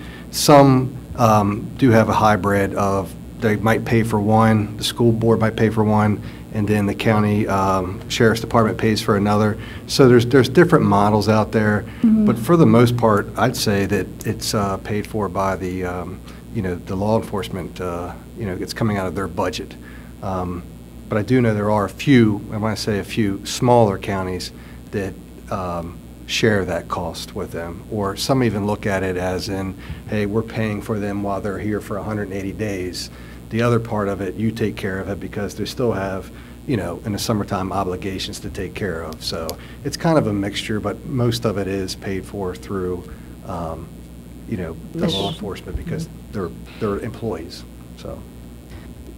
When there was money, I think that was talked about um, coming from the state to help with school sa- safety, is, is that an option to funnel some of that into some of these positions in the future? Is that a way that that money would get used? There, there's two pieces to that. One is like the, the fixed piece of, you know, construction-wise, how to upgrade, and then the other part is um, different assessments that you can do, the uh, mental health part of it. I'm not quite sure, I have to go back and look at it. I'll be honest with you, the, the specs on it aren't really written, um, you know, very thorough, so it, it kind of comes across, but I'll, I can look into that and see if that is something. The only thing about that is, once that grant runs out, Mhm. then somebody's going to have to pick up that cost of that, uh, that, you know, Gotta SRO. sustain it. Right, it's not So, renewable. But I'll take a look at that. Yeah, I was just a- curious. Thank you. Yep. Thank you. Mr. Pinder, I had a question Yes, also. ma'am. Um, so you were talking about things that happened over the summer um, that had to do with school improvement. Um, I noticed today that we have a handful of new lockers, um, and they look great. But I noticed that they were significantly bigger than the ones that we have had previously, um, at least from the looks of it. So I was wondering if it is in the works to replace the old ones with new lockers, or if I don't, we don't have that in the budget now. Um, That was a request by the principal um, to get more lockers uh, in there. And um, at the time, we went with that size because they were available. Um, The others were about an eight to 12-week turnaround. Um, So that's why there's a different style. We just didn't have time with the students coming back in there for that. So they're additional, they're not replacement. Yep, they're additional, yep. So is that because of increased enrollment? What, uh, the Or did we have kids who didn't have lockers and all of a sudden now Well, we do? basic, you have, what, what goes on at- at both high schools, and I I think Mr. Shirtgut's still here. At both high schools, a lot of times you have a long distance to get to your locker. Um, and one of the things that uh, Ms. Hudak thought was important was to have the book bags when they come into the school in the lockers. Um, so we looked at it as a safety standpoint, um, to try that, to see how that would go. So the lockers were installed there so that the kids or students could be clustered better um, with that being said. But it's not due to a, a larger enrollment. Um, It's So due, did we have kids that didn't have lockers previously? not at the high school that I'm aware of. I mean, I, I could be wrong on that. Um, You know, I'm just based off of what Ms. Hudak was meeting with me about. Um, So we're trying to eliminate the book bags and and I get those that, kinds of I get that. But I don't, I'm not aware if of. we haven't replaced and we've added, maybe we just have some that just aren't in a good area to utilize, and these have been put in, an- in an area that is more accessible, and they can get to class easier. Maybe just not all the lockers are being used now. If you haven't replaced lockers, and we weren't short on lockers, but we've added lockers, And, and one of the other factors is, yes, it was the safety, so all kids weren't, u- weren't using them. Well, I was gonna say Right. that. Everybody wasn't using them, and then we do have students from Kent Island High School that come, and so they will need to put their uh, book bags in and a now locker they will as be well. able to, where Yes. in the past, they probably weren't Didn't, able they, well, a lot of kids just didn't use the lockers. Gotcha. Is the policy at the both, at both schools, both high schools? It's not a policy, but no, Kent Island did not find the need to have their kids putting their book bags in a locker, and Queen Anne's County, that's one thing that she wanted to do. So it's not a policy, it's a practice at each school. Okay. Did we, did we, who, I don't know whose question that was. Oh, Did that- we answer your mine, question? yeah. Okay. I kind of tagged on to hers. I just want to say one more thing. Uh, I forgot one major item. The solar array at uh, Queen Anne's County High School, Centreville Middle School. Centreville Middle School will be online in about two weeks. Oh, nice. The 1st of October, um, Queen Anne's County High School will be online, and then we actually have enough to net meter down to Kent Island High School. So it's been a long process, but that, within the next three or four weeks, will be up and running, so. Not to change the subject, but. No, that's, That's great. Thank you. Other questions? Okay, thank you, thank you very Thank you. much, team. I think Mr. Paluski is going to stay, and we'll ask Mr. Bell to join him, so we can share with you our Bridge to Excellence report. And just as a reminder, the Bridge to Excellence report will be shared at the uh, County Commissioners' uh, uh, meeting next week on the 11th.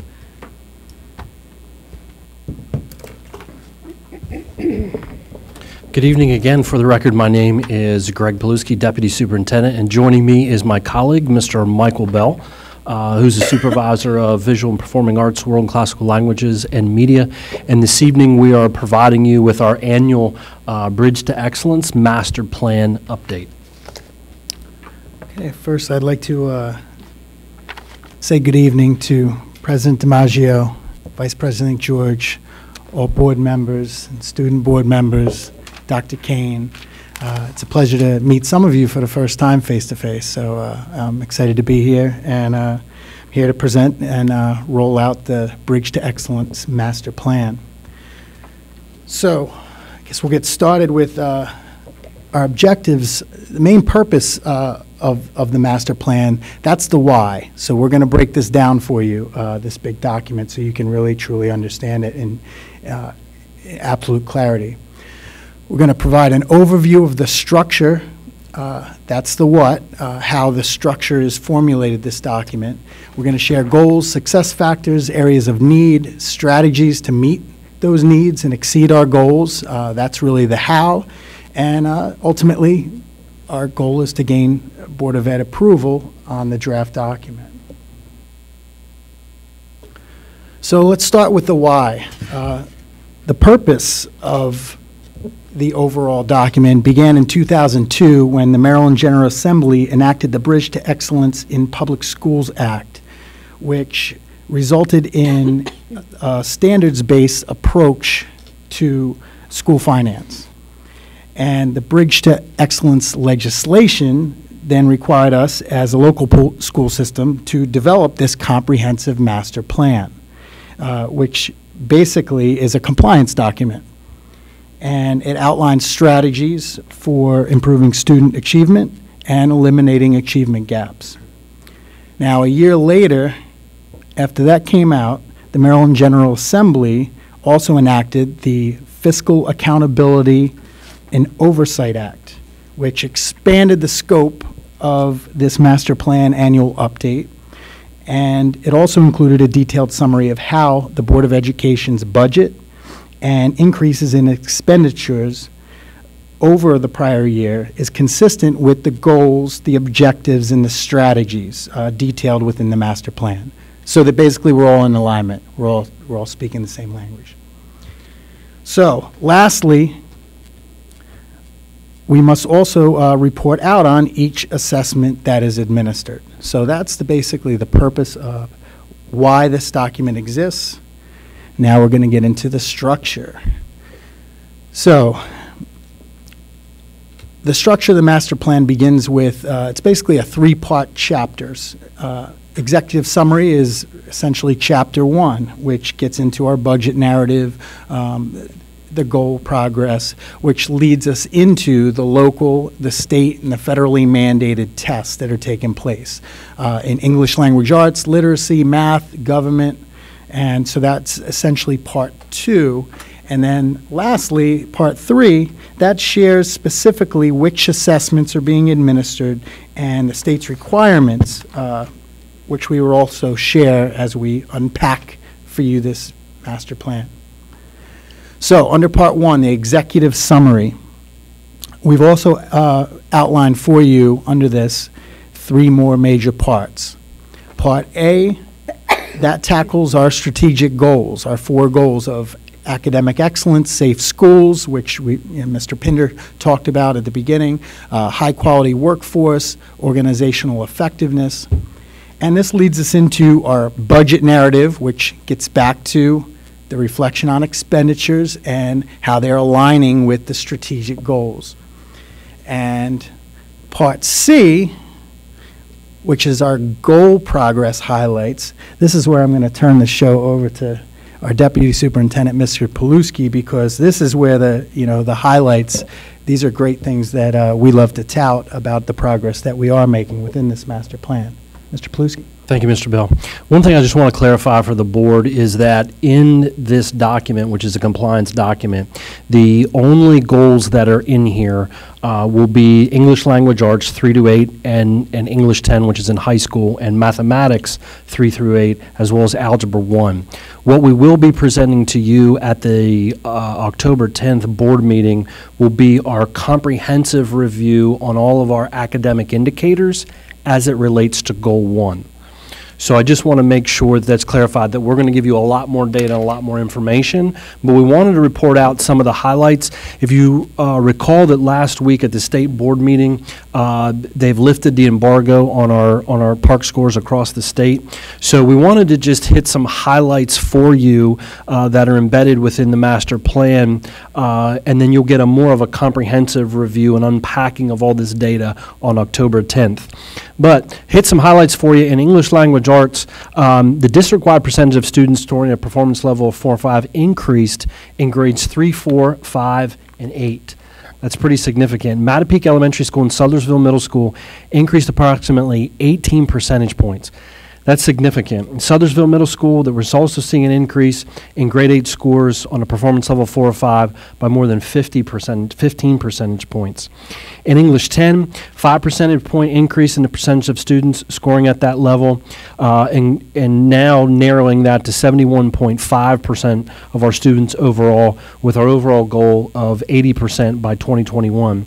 85 percent of our test takers met the requirement, the scaled score and the cohort graduation rate and for the second year in a row, making some significant progress in narrowing gaps among African American students at both of our high schools.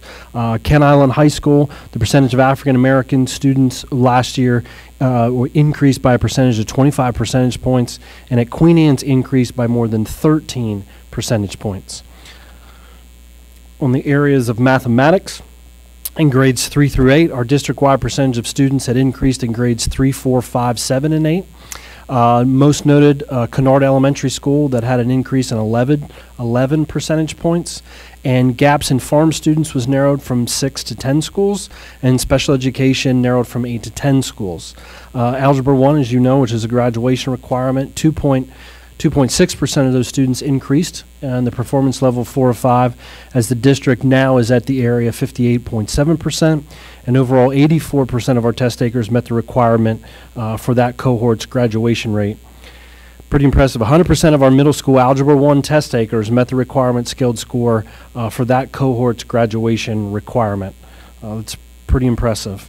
In the area of government, there was an increase in the pass rate of performance for government in the high school assessment from 87 uh, to 90.2 compared to that 16 17 administration.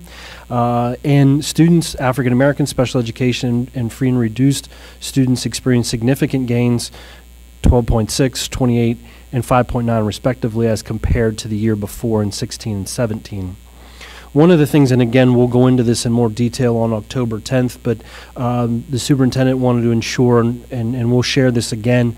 We'd compared uh, what this chart shows you is all those all the data points that are on the left in those assessments.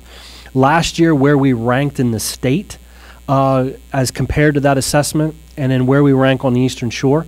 Um, for those in our audience, there are 24 jurisdictions in the state of Maryland. There are nine of which that we're a part of here on the Eastern Shore. So you can see in the 17 18 uh, either where we've increased or improved our ranking, or maybe where our ranking uh, has dropped. Uh, if you look at and, and actually go through the slides in the state report, uh, through across the state, there were decreases in almost uh, half of our school systems in Algebra 1 as well as English 10. Uh, but what this chart shows is that Queen Anne's County Public Schools uh, ranks in the top seven, uh, if not number one, or at least in, in the first one, two, or three on the Eastern Shore. Um, and it doesn't mean that there's not work to do because there is, uh, but there's momentum here in, in which we're certainly building upon.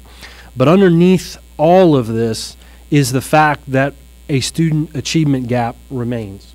Uh, and that remains among African American students, farm students, special education students, as well as English language English language learner students. And and Dr. Kane speaks to this um, frequently, and that is when you look at that aggregate score, that overall our school system looks pretty good. However, there are some student populations in which we still need to continue to work in order to meet their individual needs. The last thing uh, that is in the comprehensive uh, master plan is a variety of strategies. And uh, one of the things that we wanted to provide you, for you is not to go over all of these strategies with you, but when you look at that report, um, and kudos to all of our curriculum supervisors, certainly Michael, Mr. Bell, who's, who's now come into our school system and has this responsibility, but all of our supervisors are invested in this and, and have a, a lot of comprehensive writing to do, analysis, which strategies are we going to put in place, what strategies are we working with schools to put in place. So I'm not going to read a list of, of, of um, strategies, but overall, there's what we continue to call alignment. So alignment with all of our schools' uh, school improvement plans, our principals, SLOs that have to target gaps, individual teacher SLOs that target gaps. So there's a whole comprehensive plan here as it relates to improving the all academic achievement uh, of all of our students. And with that said, Um, the last part, and as Mr. Bell alluded to, and that is the More Learning, Less Testing Act, which took place a few years ago. Now the, the master plan requires, you'll notice that in the appendix clear at the end, we have to list all of the assessments uh, that we administer within our school system. As part of that, and I'll make a connection to the Innovation Center, uh, Team 5, uh, this was their primary deliverable, and we had worked with focus groups. We sat down with teachers, we looked at all of our assessments, are there some things that we could eliminate? And based upon that and feedback uh, of their overall support of the assessments that we're providing. So I know as well as you do that this is a large document, and we wanted to provide a little bit of a summary for you this evening. It is a draft document, so if you recall the process, we seek your feedback and approval to send the draft document um, to the State Department of Education. Our next step will be to go to the commissioners, the superintendent said, review this with them. Uh, and typically, what happens, we'll receive feedback uh, by October, and then if there are any clarifying questions, our supervisor and my staff will have to write those, and then we'll submit those back to the State Department to clarify anything, and then that overall master plan will be approved by the State Department. So with that, uh, I know that's a very uh, 30,000 foot view, but we are more than happy to answer any questions that you may have. A question I had was just um, the timeline from when a baseline was developed versus the end result. Was it uh, one year, two years, and was the sample size the same? Yeah, and, and I believe that we're in our fourth year. So when I arrived in uh, in 15 and 16, we would have got the results from 14, 15. That would have been our baseline year. Um, one of the things that we will share at our October 10th meeting, uh, when Mr. Brown in our accountability office, he, his slides are a little bit more pretty, so to speak. Uh, These are uh, pretty. They're, they're more they're more visual, but his data slides will show you over time how we've performed since we began to administer the PARCC assessment. And what we should see over time is that we're gradually improving towards our, our target. And you'll see that in his graphs where the system has set a benchmark that we want to be here. And usually in your baseline, you're here. And then you're going to start to see where we're making progress overall. What you will see is there still remain some significant gaps in those individual student groups. But we'll share that visually with you uh, in the next month. Th- This data that's here, um, the, the improvements thus to date, is that all from just one assessment, or is that all the assessments kind of put together and that data is crunched, and that's what those numbers represent? Sure. These are on our, our state and our federal accountability assessments. So those assessments that are administered, um, this year it was in um, late Ap- April. Um, so in the bigger assessment scheme, our teachers are monitoring and our administrators are monitoring progress all the way through the year until they have to take that larger assessment. But what that is showing you is this moment in time in that academic year, how are those students meeting those standards at that particular grade level in, in reading and mathematics, Okay, as well as government. All right, thank you. I look forward to October 10th and hearing. So do we. Yeah. Thank you, Mr. Paluski. You're welcome. Mr. Bell, any other questions? Mr. Paluski, when you're, you probably are going to do this in the more detailed presentation, I know Mr. Brown usually does, but when you're talking about percentages, we need to attach that to numbers of kids. Sure. if you say 100% of the middle school Algebra 1 test takers met it, that is awesome, but I don't know what that number is and how Sure. is, if that is so significant. and, and thank you, Captain Kelly, and, and I really appreciate that. At the time that we were working on this presentation, the state board had not lifted the embargo uh, on the state data. They just released that last week, so that's why we had the highlighted the highlights in here, just so you could get an idea.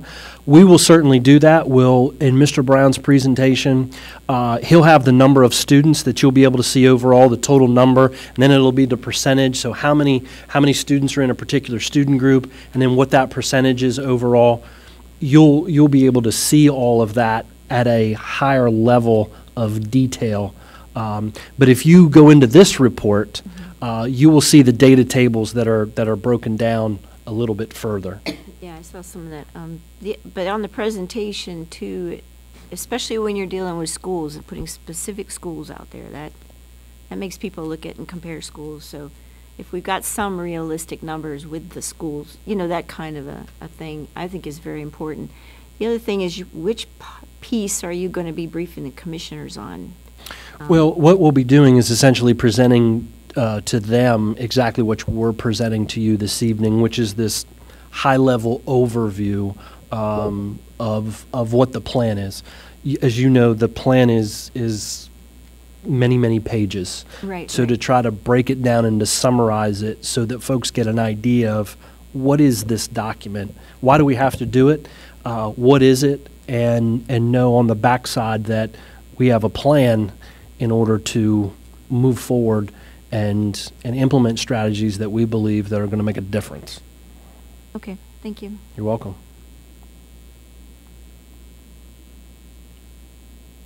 Are our interventions affected by these numbers at all?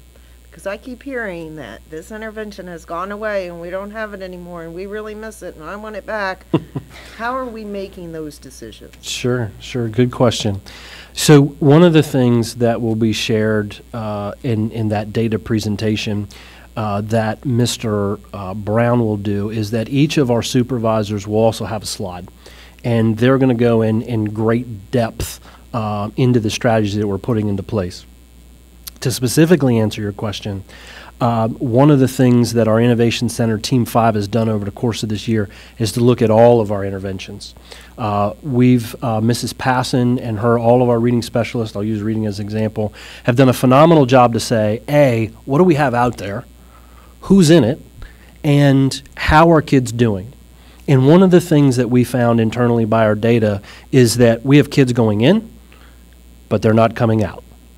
The other thing that we found is we have a what I would call potpourri interventions. They're a little bit of this and it's a it's a little bit of that.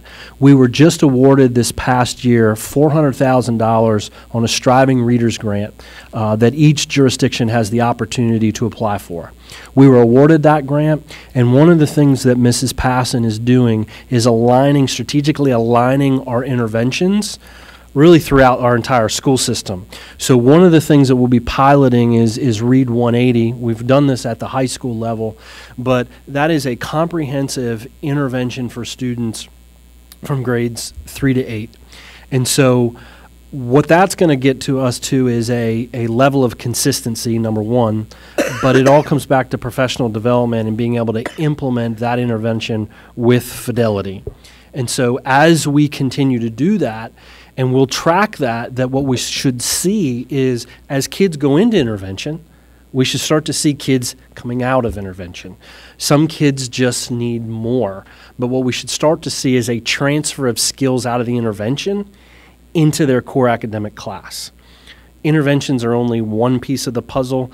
The best piece of the puzzle is the classroom teacher being able to, to differentiate. But some kids, they just need, they simply need more. And we want to be able to provide that, what we refer to as tiered systems of intervention. So the teacher being the first intervention, a tier two system if I'm having a problem in comprehension, I might go into that.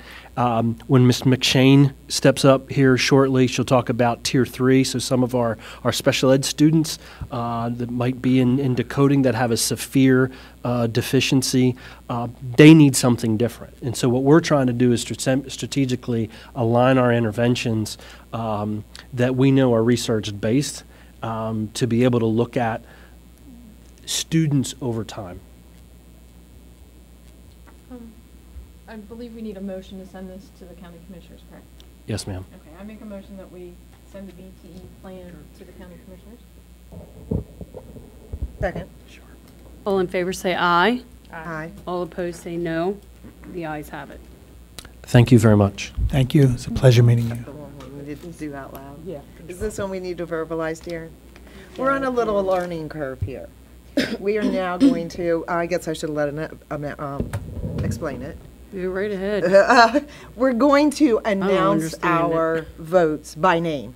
Jackie will call us as a roll call, and we will vote verbally so people actually hear our vote. It's often very difficult, especially for the president when she's running the meeting, to get her vote verbalized as she's also reading her next level of instruction. This is important uh, legally now that everyone's vote is well understood by the public and the video. So, Miss, or- since it was unanimous, this time Mrs. Wright can just read what was voted, so especially since Ms. Thank you. O'Connor just Since- left. Go ahead. Well, basically, the motion was to send, allow this um, BTE to go to the county commissioners, and it was unanimous, yes, by all five board members to send this over to commissioners. Thank you. Thank you. I do have a request, though. It- I mean, I mean, I said yes be- because I got to move it forward, but perhaps next year we can have the, well, if you get the information earlier and get the release from the state, we can have the more thorough discussion so we can have a better understanding. We- I I read and to- read that thing, and that, I mean, I'm hope we're voting right. Yeah, That's what I'm we'd, we'd be happy to make sure you get it early. To understand It's been it. ready for a, a week now, I'm sure, so. Okay, thank mm-hmm. you. Yep. And so our next presentation, thank you, Ms. um, Jolene, is here to, McShane is here to talk about the special education audit. Mrs. McShane. Good evening, Dr. Kane, Madam President, and board members. Um, So I'm here tonight to talk to you about our um, triennial um, comprehensive audit that we, as the Special Education Department, go through um, with MSDE. So um, every three years, and actually this will be changed to every four years moving forward, um, the State Department comes out and they do an audit of the Special Education Department. That includes um, our infants and toddlers, our school age programs, as well as students that are participating in home hospital instruction that may have an IEP. This year, we had our audit um, in May. It was over the course of four days. Um, so it was May 29th through the 31st, and then they had to come back for um, one of the case studies uh, the, the following week. The, um, the areas that it included included the Board of Education, Kent Island Elementary School, Churchill Elementary School, Centreville Middle, and Queen Anne's County High School. Those schools are chosen at random um, by MSDE, and we're notified about three weeks ahead of time, three weeks to a month ahead of time, which schools will be selected, in addition to the files that will be chosen. Um, They come with three compliance specialists uh, from MSDE. The first day was for a record review. The second day was an ongoing record review as well as an infants and toddlers case study. And then the third day was a school-aged case study. Um, so the purpose of the audit is to really kind of look at and analyze the local school system, their infants and toddlers program, school age program, and then really ensure that there's a compliance and alignment with federal and state regulations. Um, it's also to ensure that there is a system of general supervision in place to monitor progress and also really kind of put the emphasis on data informed decision making that we improve outcomes for students with disabilities, and that the focus kind of falls on the areas of early childhood, professional learning, equitable services, and then differentiated and specialized instruction, and then also uh, secondary transition. I would like to say before I move further into the results that this could not this this is a very large feat and cannot be conducted without the tremendous teamwork that took place in this county, um, and that went from the the level of our special educators all the way up to um, the teacher specialists that are here at the board, and we. You know, we were ready for them. They did a desk audit from MSDE of over 40 files. And then um, when they came here to the board on site, we had all 40 files ready for them to review as well as the related service logs. So they do a cross-divisional analysis of the trend data, and basically they're looking at our historical data. Um, annually, we are given a, a performance report card. So they look at that data and they notice the trends to kind of uh, make sure that the um, that the data that they're seeing when they're here is reflective of that that data as well. Um, as I mentioned, they do the desk audit of the files that, and it looks at both the home hospital IFSPs, which is the um, the our, our babies, our birth to three, um, and IEPs, including our non-public schools as well. They also do look at our policies and procedures for both Part B and Part C. Um, Part C being our babies, and then Part B being our school age um, programs. They do ask of the staff here to do a self-audit. So you are asked to do 20 um, self-audits of the school age program and then 10 self-audits of the infants and toddler program.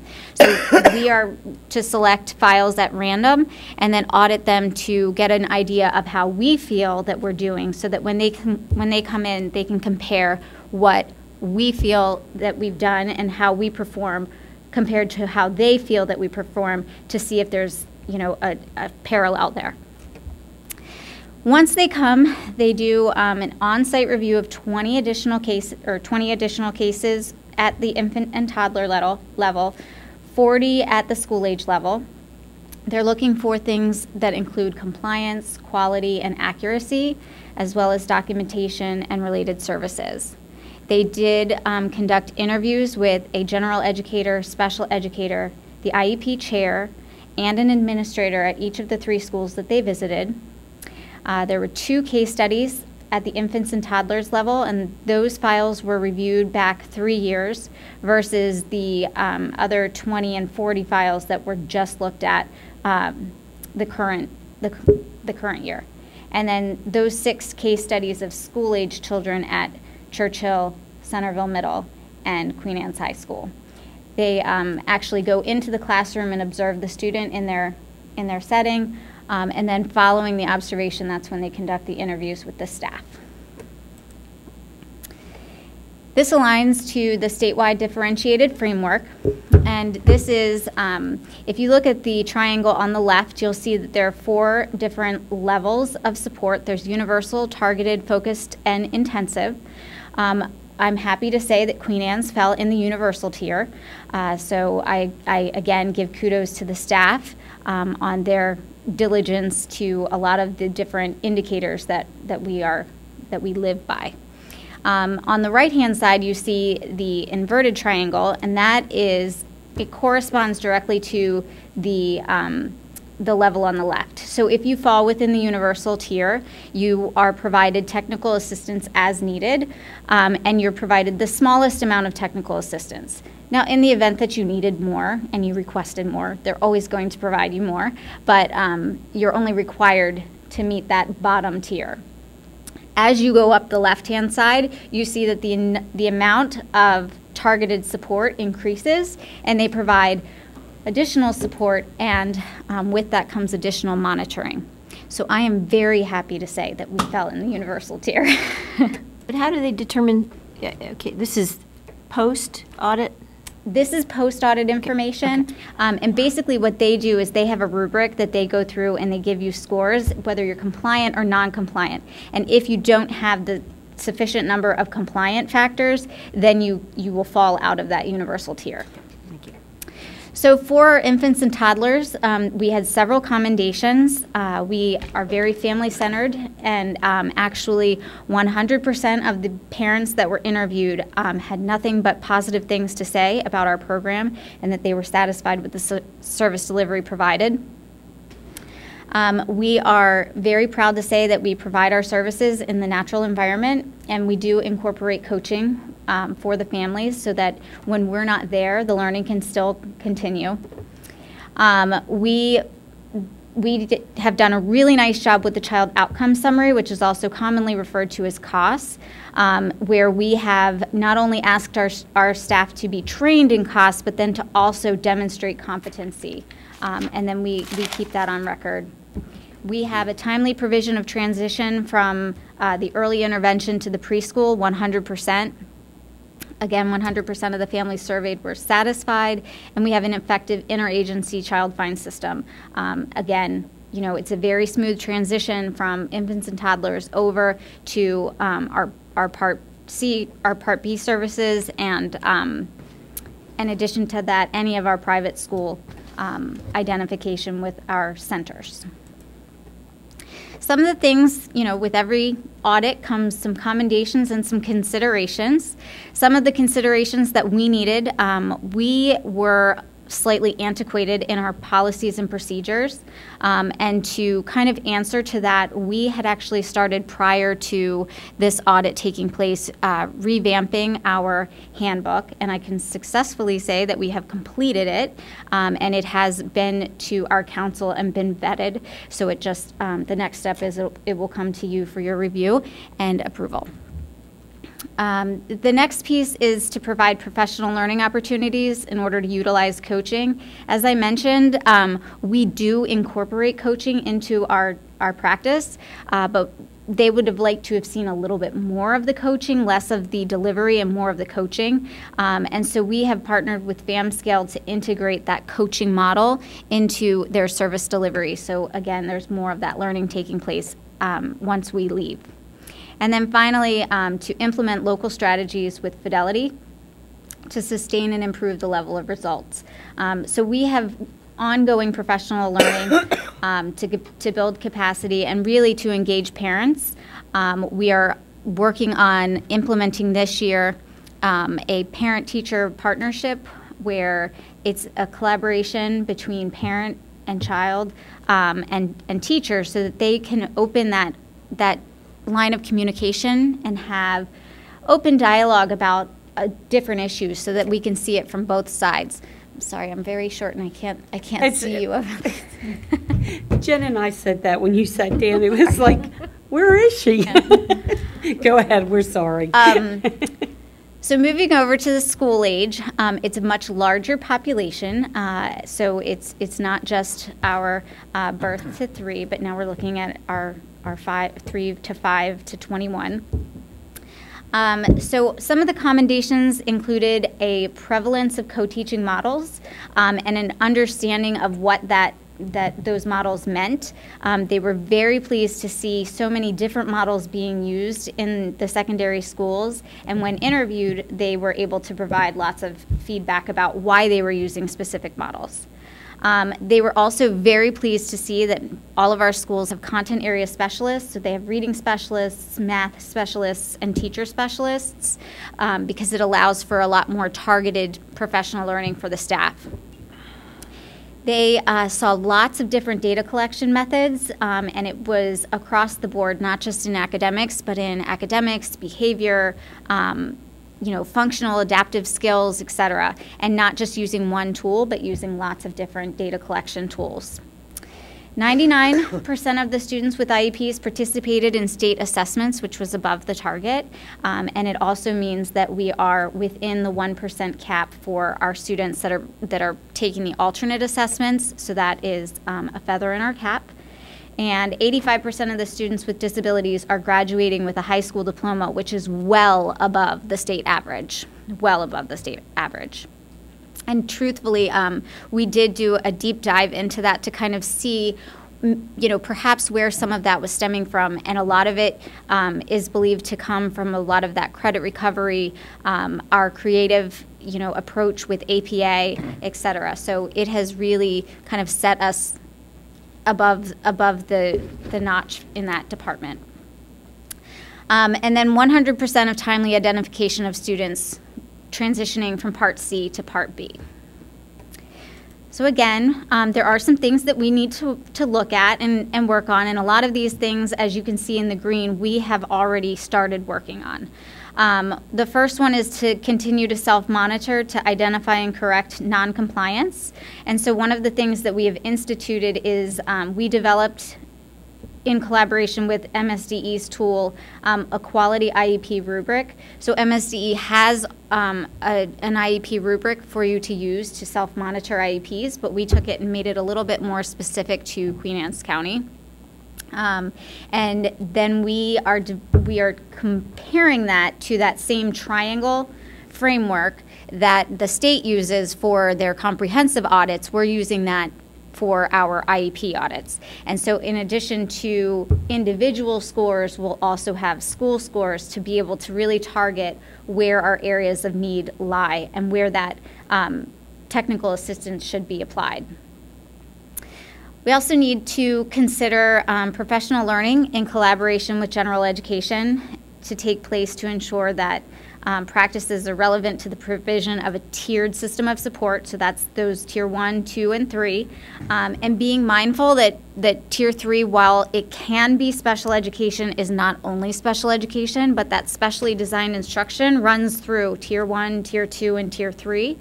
Um, and that it is very much a team approach from the side of general education and special education working together as a team. And we have partnered with Maryland Coalition for Inclusive Education to continue that conversation with our IEP chairs. Um, and through coaching, that will trickle down to our special education teachers as well um, to really kind of develop a greater understanding of what that tiered system is and what it looks like in the classroom in conjunction with what specially designed instruction is and what it looks like in the classroom. The next one is the lack of alignment between IEP goals and um, Maryland standards, and we um, during our, our back to school teacher professional development day, um, we did focus on this very strongly. We have a subscription to Goalbook. Um, one of our messages was that Goalbook is a tool; it's not a goal bank, but there are lots and lots of resources available. So we did have um, some professional learning from a representative from Goalbook come out and and worked with the staff on how to use this tool to align the IEP goals to the standards. And then we need to better define student the student achievement model um, to assist in eligibility and identification. So keeping in mind some of our disproportionality and, and really being able to look at um, children as a whole as well as you know equity and understanding all of the different dynamics that go into making a child what they are and who they are, um, and, and taking all of those pieces into consideration before applying a label. So, really kind of better defining that process for our special educators as well as our parents so that there's a better understanding of what makes a child who they are. These were areas we needed improvement. Correct. Mm-hmm. Questions? And can you go back to that last slide? Sure. please?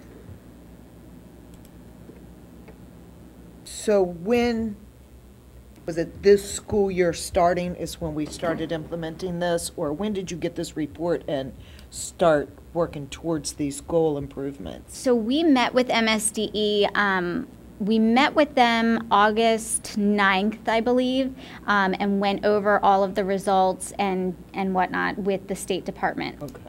A lot of these things we had, many of them we had already identified. Um, and so we had started that before they came in. Even Um, before the school was, school uh, school before was school over? was out. Gotcha. Yep. Um, so we were kind of ahead of, of the game before they came in and told us our results. Um, otherwise, we would still be working on a lot of these things. But we can proudly say that we have 90% of these already in place. They're Great. not complete um, because these these are very long, you know, initiatives that we're working on. Um, but we're very happy to say that they're- we've already started that process. Great. Thank you. Anything else? Okay.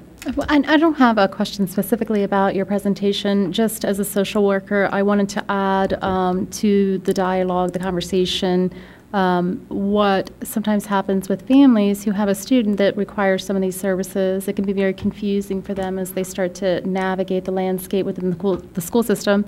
There's a wonderful group. It's called Maryland Coalition of Families, and I just want to put that out there that it, uh, it is a free service for families to work with a family navigator who has been through this experience and can help them navigate within the school system um, how to best utilize um, some of the resources so that their student and their child can take full advantage of uh, the public education system with uh, special needs. So that's called Maryland Coalition of Families, and they're here in, um, there's an office in each county. So I just want to put that out there for the public.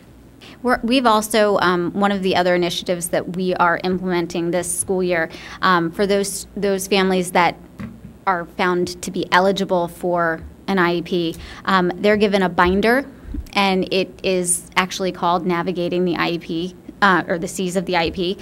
We're trying to stick with the whole nautical theme of, of Queen Anne's County.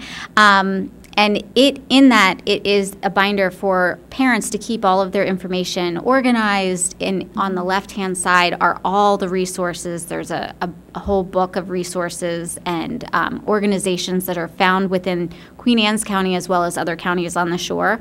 Um, and I think that I know that they're located or they're listed in that, that resource. Oh, wonderful, good. Um, because a lot of the family navigators are um, parents whose children have gone through this experience, and then they've gone on to work for More- Maryland Coalition of Families as an advocate because of their personal experience. Um, so they're they're really um, wonderful people who who are doing good work um, that can help out um, in this this whole subject area. Thank, you. Thank you for bringing that up. Yeah, thank you.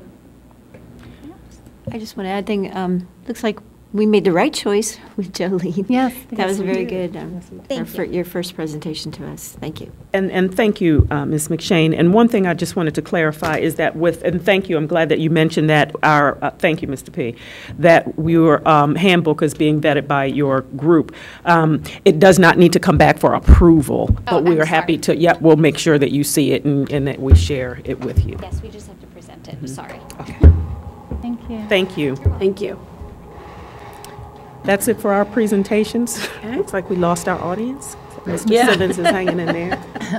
Well, at this time, we're scheduled for a break. Does anyone want to take a break, or do we want to keep moving? Okay. How long do you need? Five, Five 10 minutes. minutes? She I said mean, five Five minutes. minutes, okay, that's fine. Okay. So we'll bring the meeting back, and now we will go to the um, expenditure report. Mr. Pfister, can you share that report for us, please? Yes. Thank you, Mr. Maggio, members of the board. Um, Expenditure report in 8.01 is presented for your review. No approval is necessary or action on your part. It's simply for review only, uh, as there's no transfers or object classifications or anything like that. Um, Please note, this report is as of 8:31, so there's not a whole big story to tell, because we just started the fiscal year, teachers haven't been back, um, but we wanted to present this to you for tonight. So with that, I- if there's any questions, I'd be happy to entertain them. Um, You'll get more substantive reports as we get further in the year. I thank you very much. I Did have anyone have any questions? Yeah, this is, this is just for August, then? Uh, Through August, from, from July 1 through August 31st. Okay, got it. Thank you. I know. Okay, then we move on to the HR report. Board members, uh, Dr. Kane, Mr. Maggio, I'd like to ask that you approve the HR report as presented. I make a motion that we approve the HR report as presented. Second. All in favor, say aye. Aye. Oh, wait a minute. Sorry for I get yelled at. Are we supposed to? Board members, how do you vote? Ms. O'Connor? Aye. Aye. George? Ms. DiMaggio? Aye. Ms. Harlow? Aye. Aye. I'm sorry, Ms. Kelly? Aye. Thank you. We move on to the transportation report.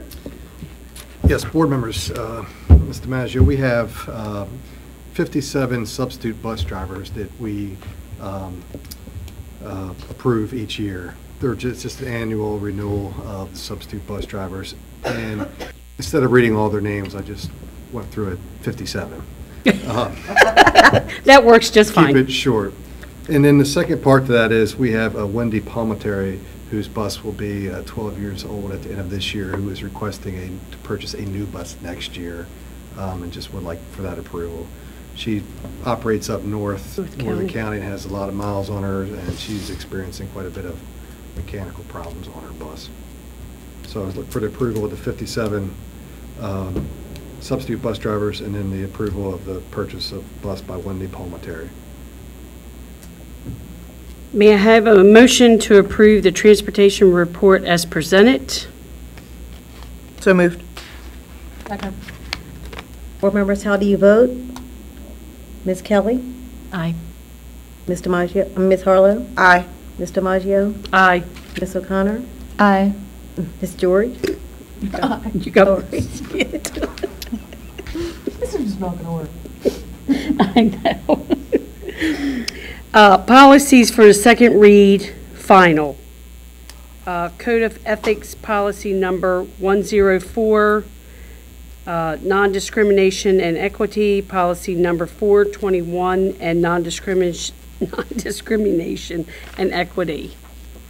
Regulation students, number 421.1, and non-discrimination and equity regulation employees, number 421.2.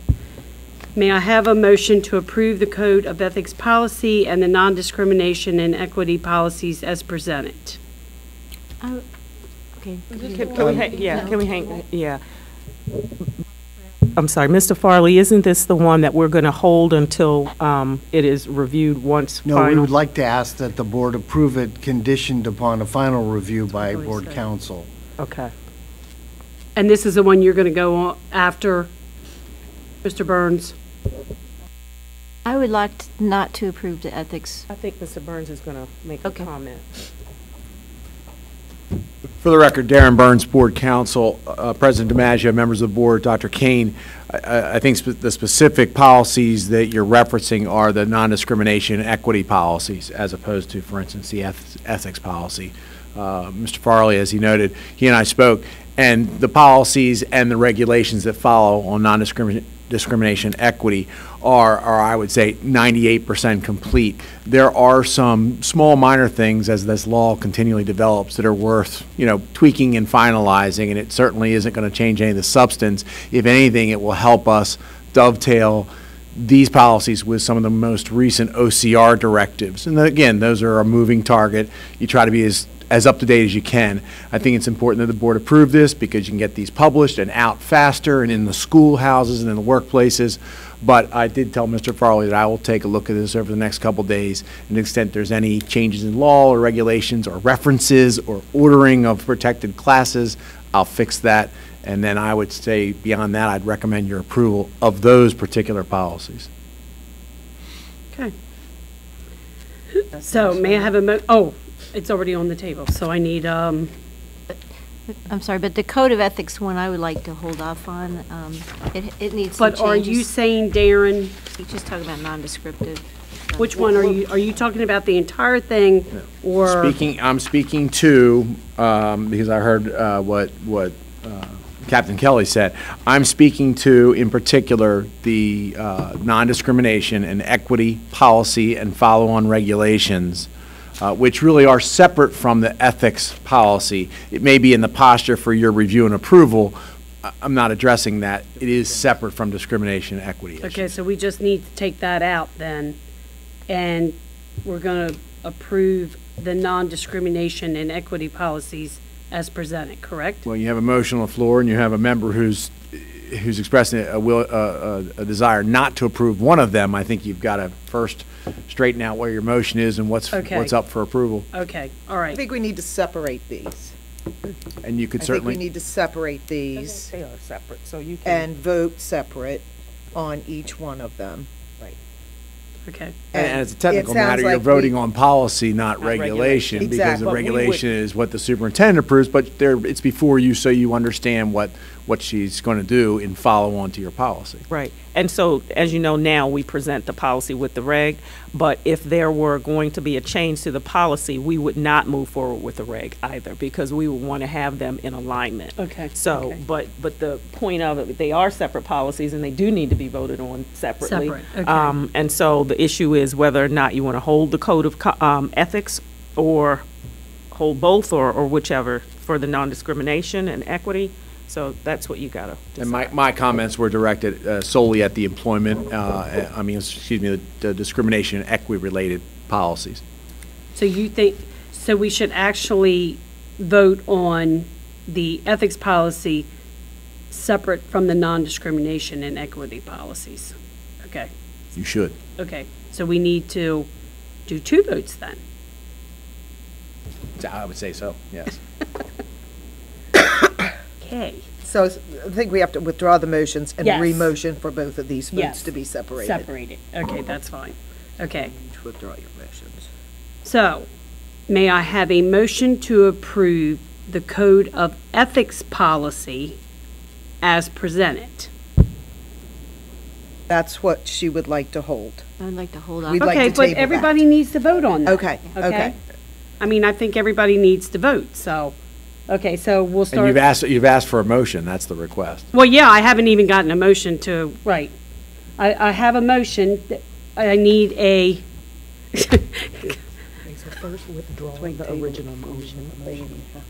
okay, well, I thought that we had, so, okay. So we were gonna withdraw the original motion that said, uh, may I have a motion to approve the Code of Ethics Policy and Non-Discrimination and Equity Policies as presented together. Now we are going to do them separate, okay? So, once again, may I have a motion to approve the Code of Ethics Policy as presented? So moved.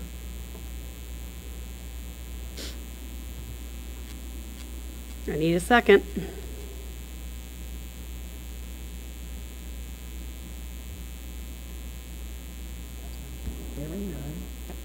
Okay, you take it. That's fine. Fine. Okay. So may I have a motion to approve the, c- oh, wait a minute, the non-discrimination and equity policies as presented? So moved. Second.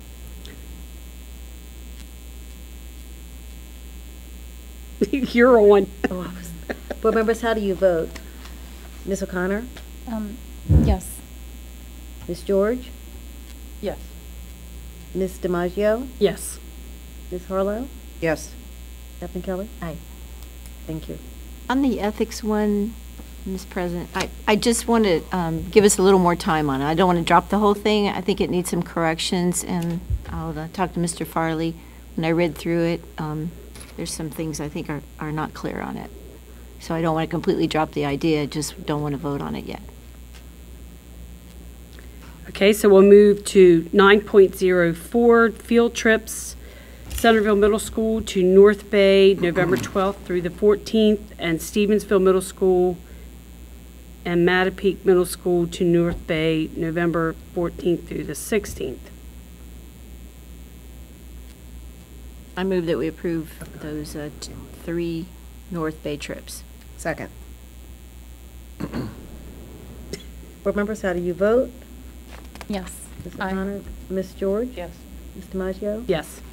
Ms. Harlow? Yes. Kelly? Aye. Thank you.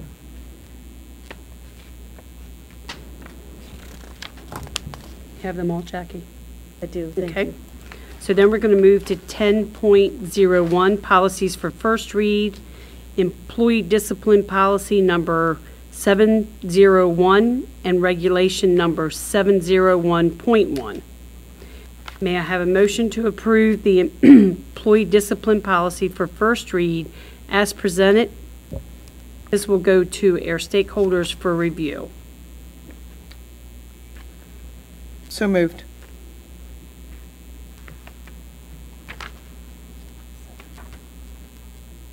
Uh, n- Board members, how do you vote? Ms. O'Connor? This is first read, right? Yeah, aye, yes. Ms. George? Yes. DiMaggio? Yes. Ms. Harlow? Yes. Ms. Kelly? Thank you. Thank you. Now we move on to 10.02, School Board Citizen Advisory Committee. Ms. Harlow, would you like to take over at this time? Sure. I've announced the last three meetings that we are developing a Citizens Advisory Committee. We talked in depth about that in our board meeting on the 29th of August, and that can be viewed on W, I mean, well, it can be viewed on QAC TV as well as um, the board's Facebook page. Jeff has it posted. And it's just given an overview, how we're going to structure the committee, um, and get a press release out inviting community members to join this committee. And um, whether or not there will be any um, employees will not be a part of this committee. We have employee committees that Dr. Kane has already in, in um, process and future and vision. So we have really defined how we're going to structure this group in the future, and um, that'll be coming up soon. Keep Sharon, I'd like to thank you for all your hard work that you've done for this. Uh, I'm actually looking forward to this for us. I think it'll be a big improvement. Uh, We're we're one of the very few counties who do do not have a Citizens Advisory Committee, and um, it will take its shape as it should through the citizens' participation and what their vision is for this organization. Um, They will be a standalone committee. The board will not attend their meetings. We will not guide them in what they do or how they do it.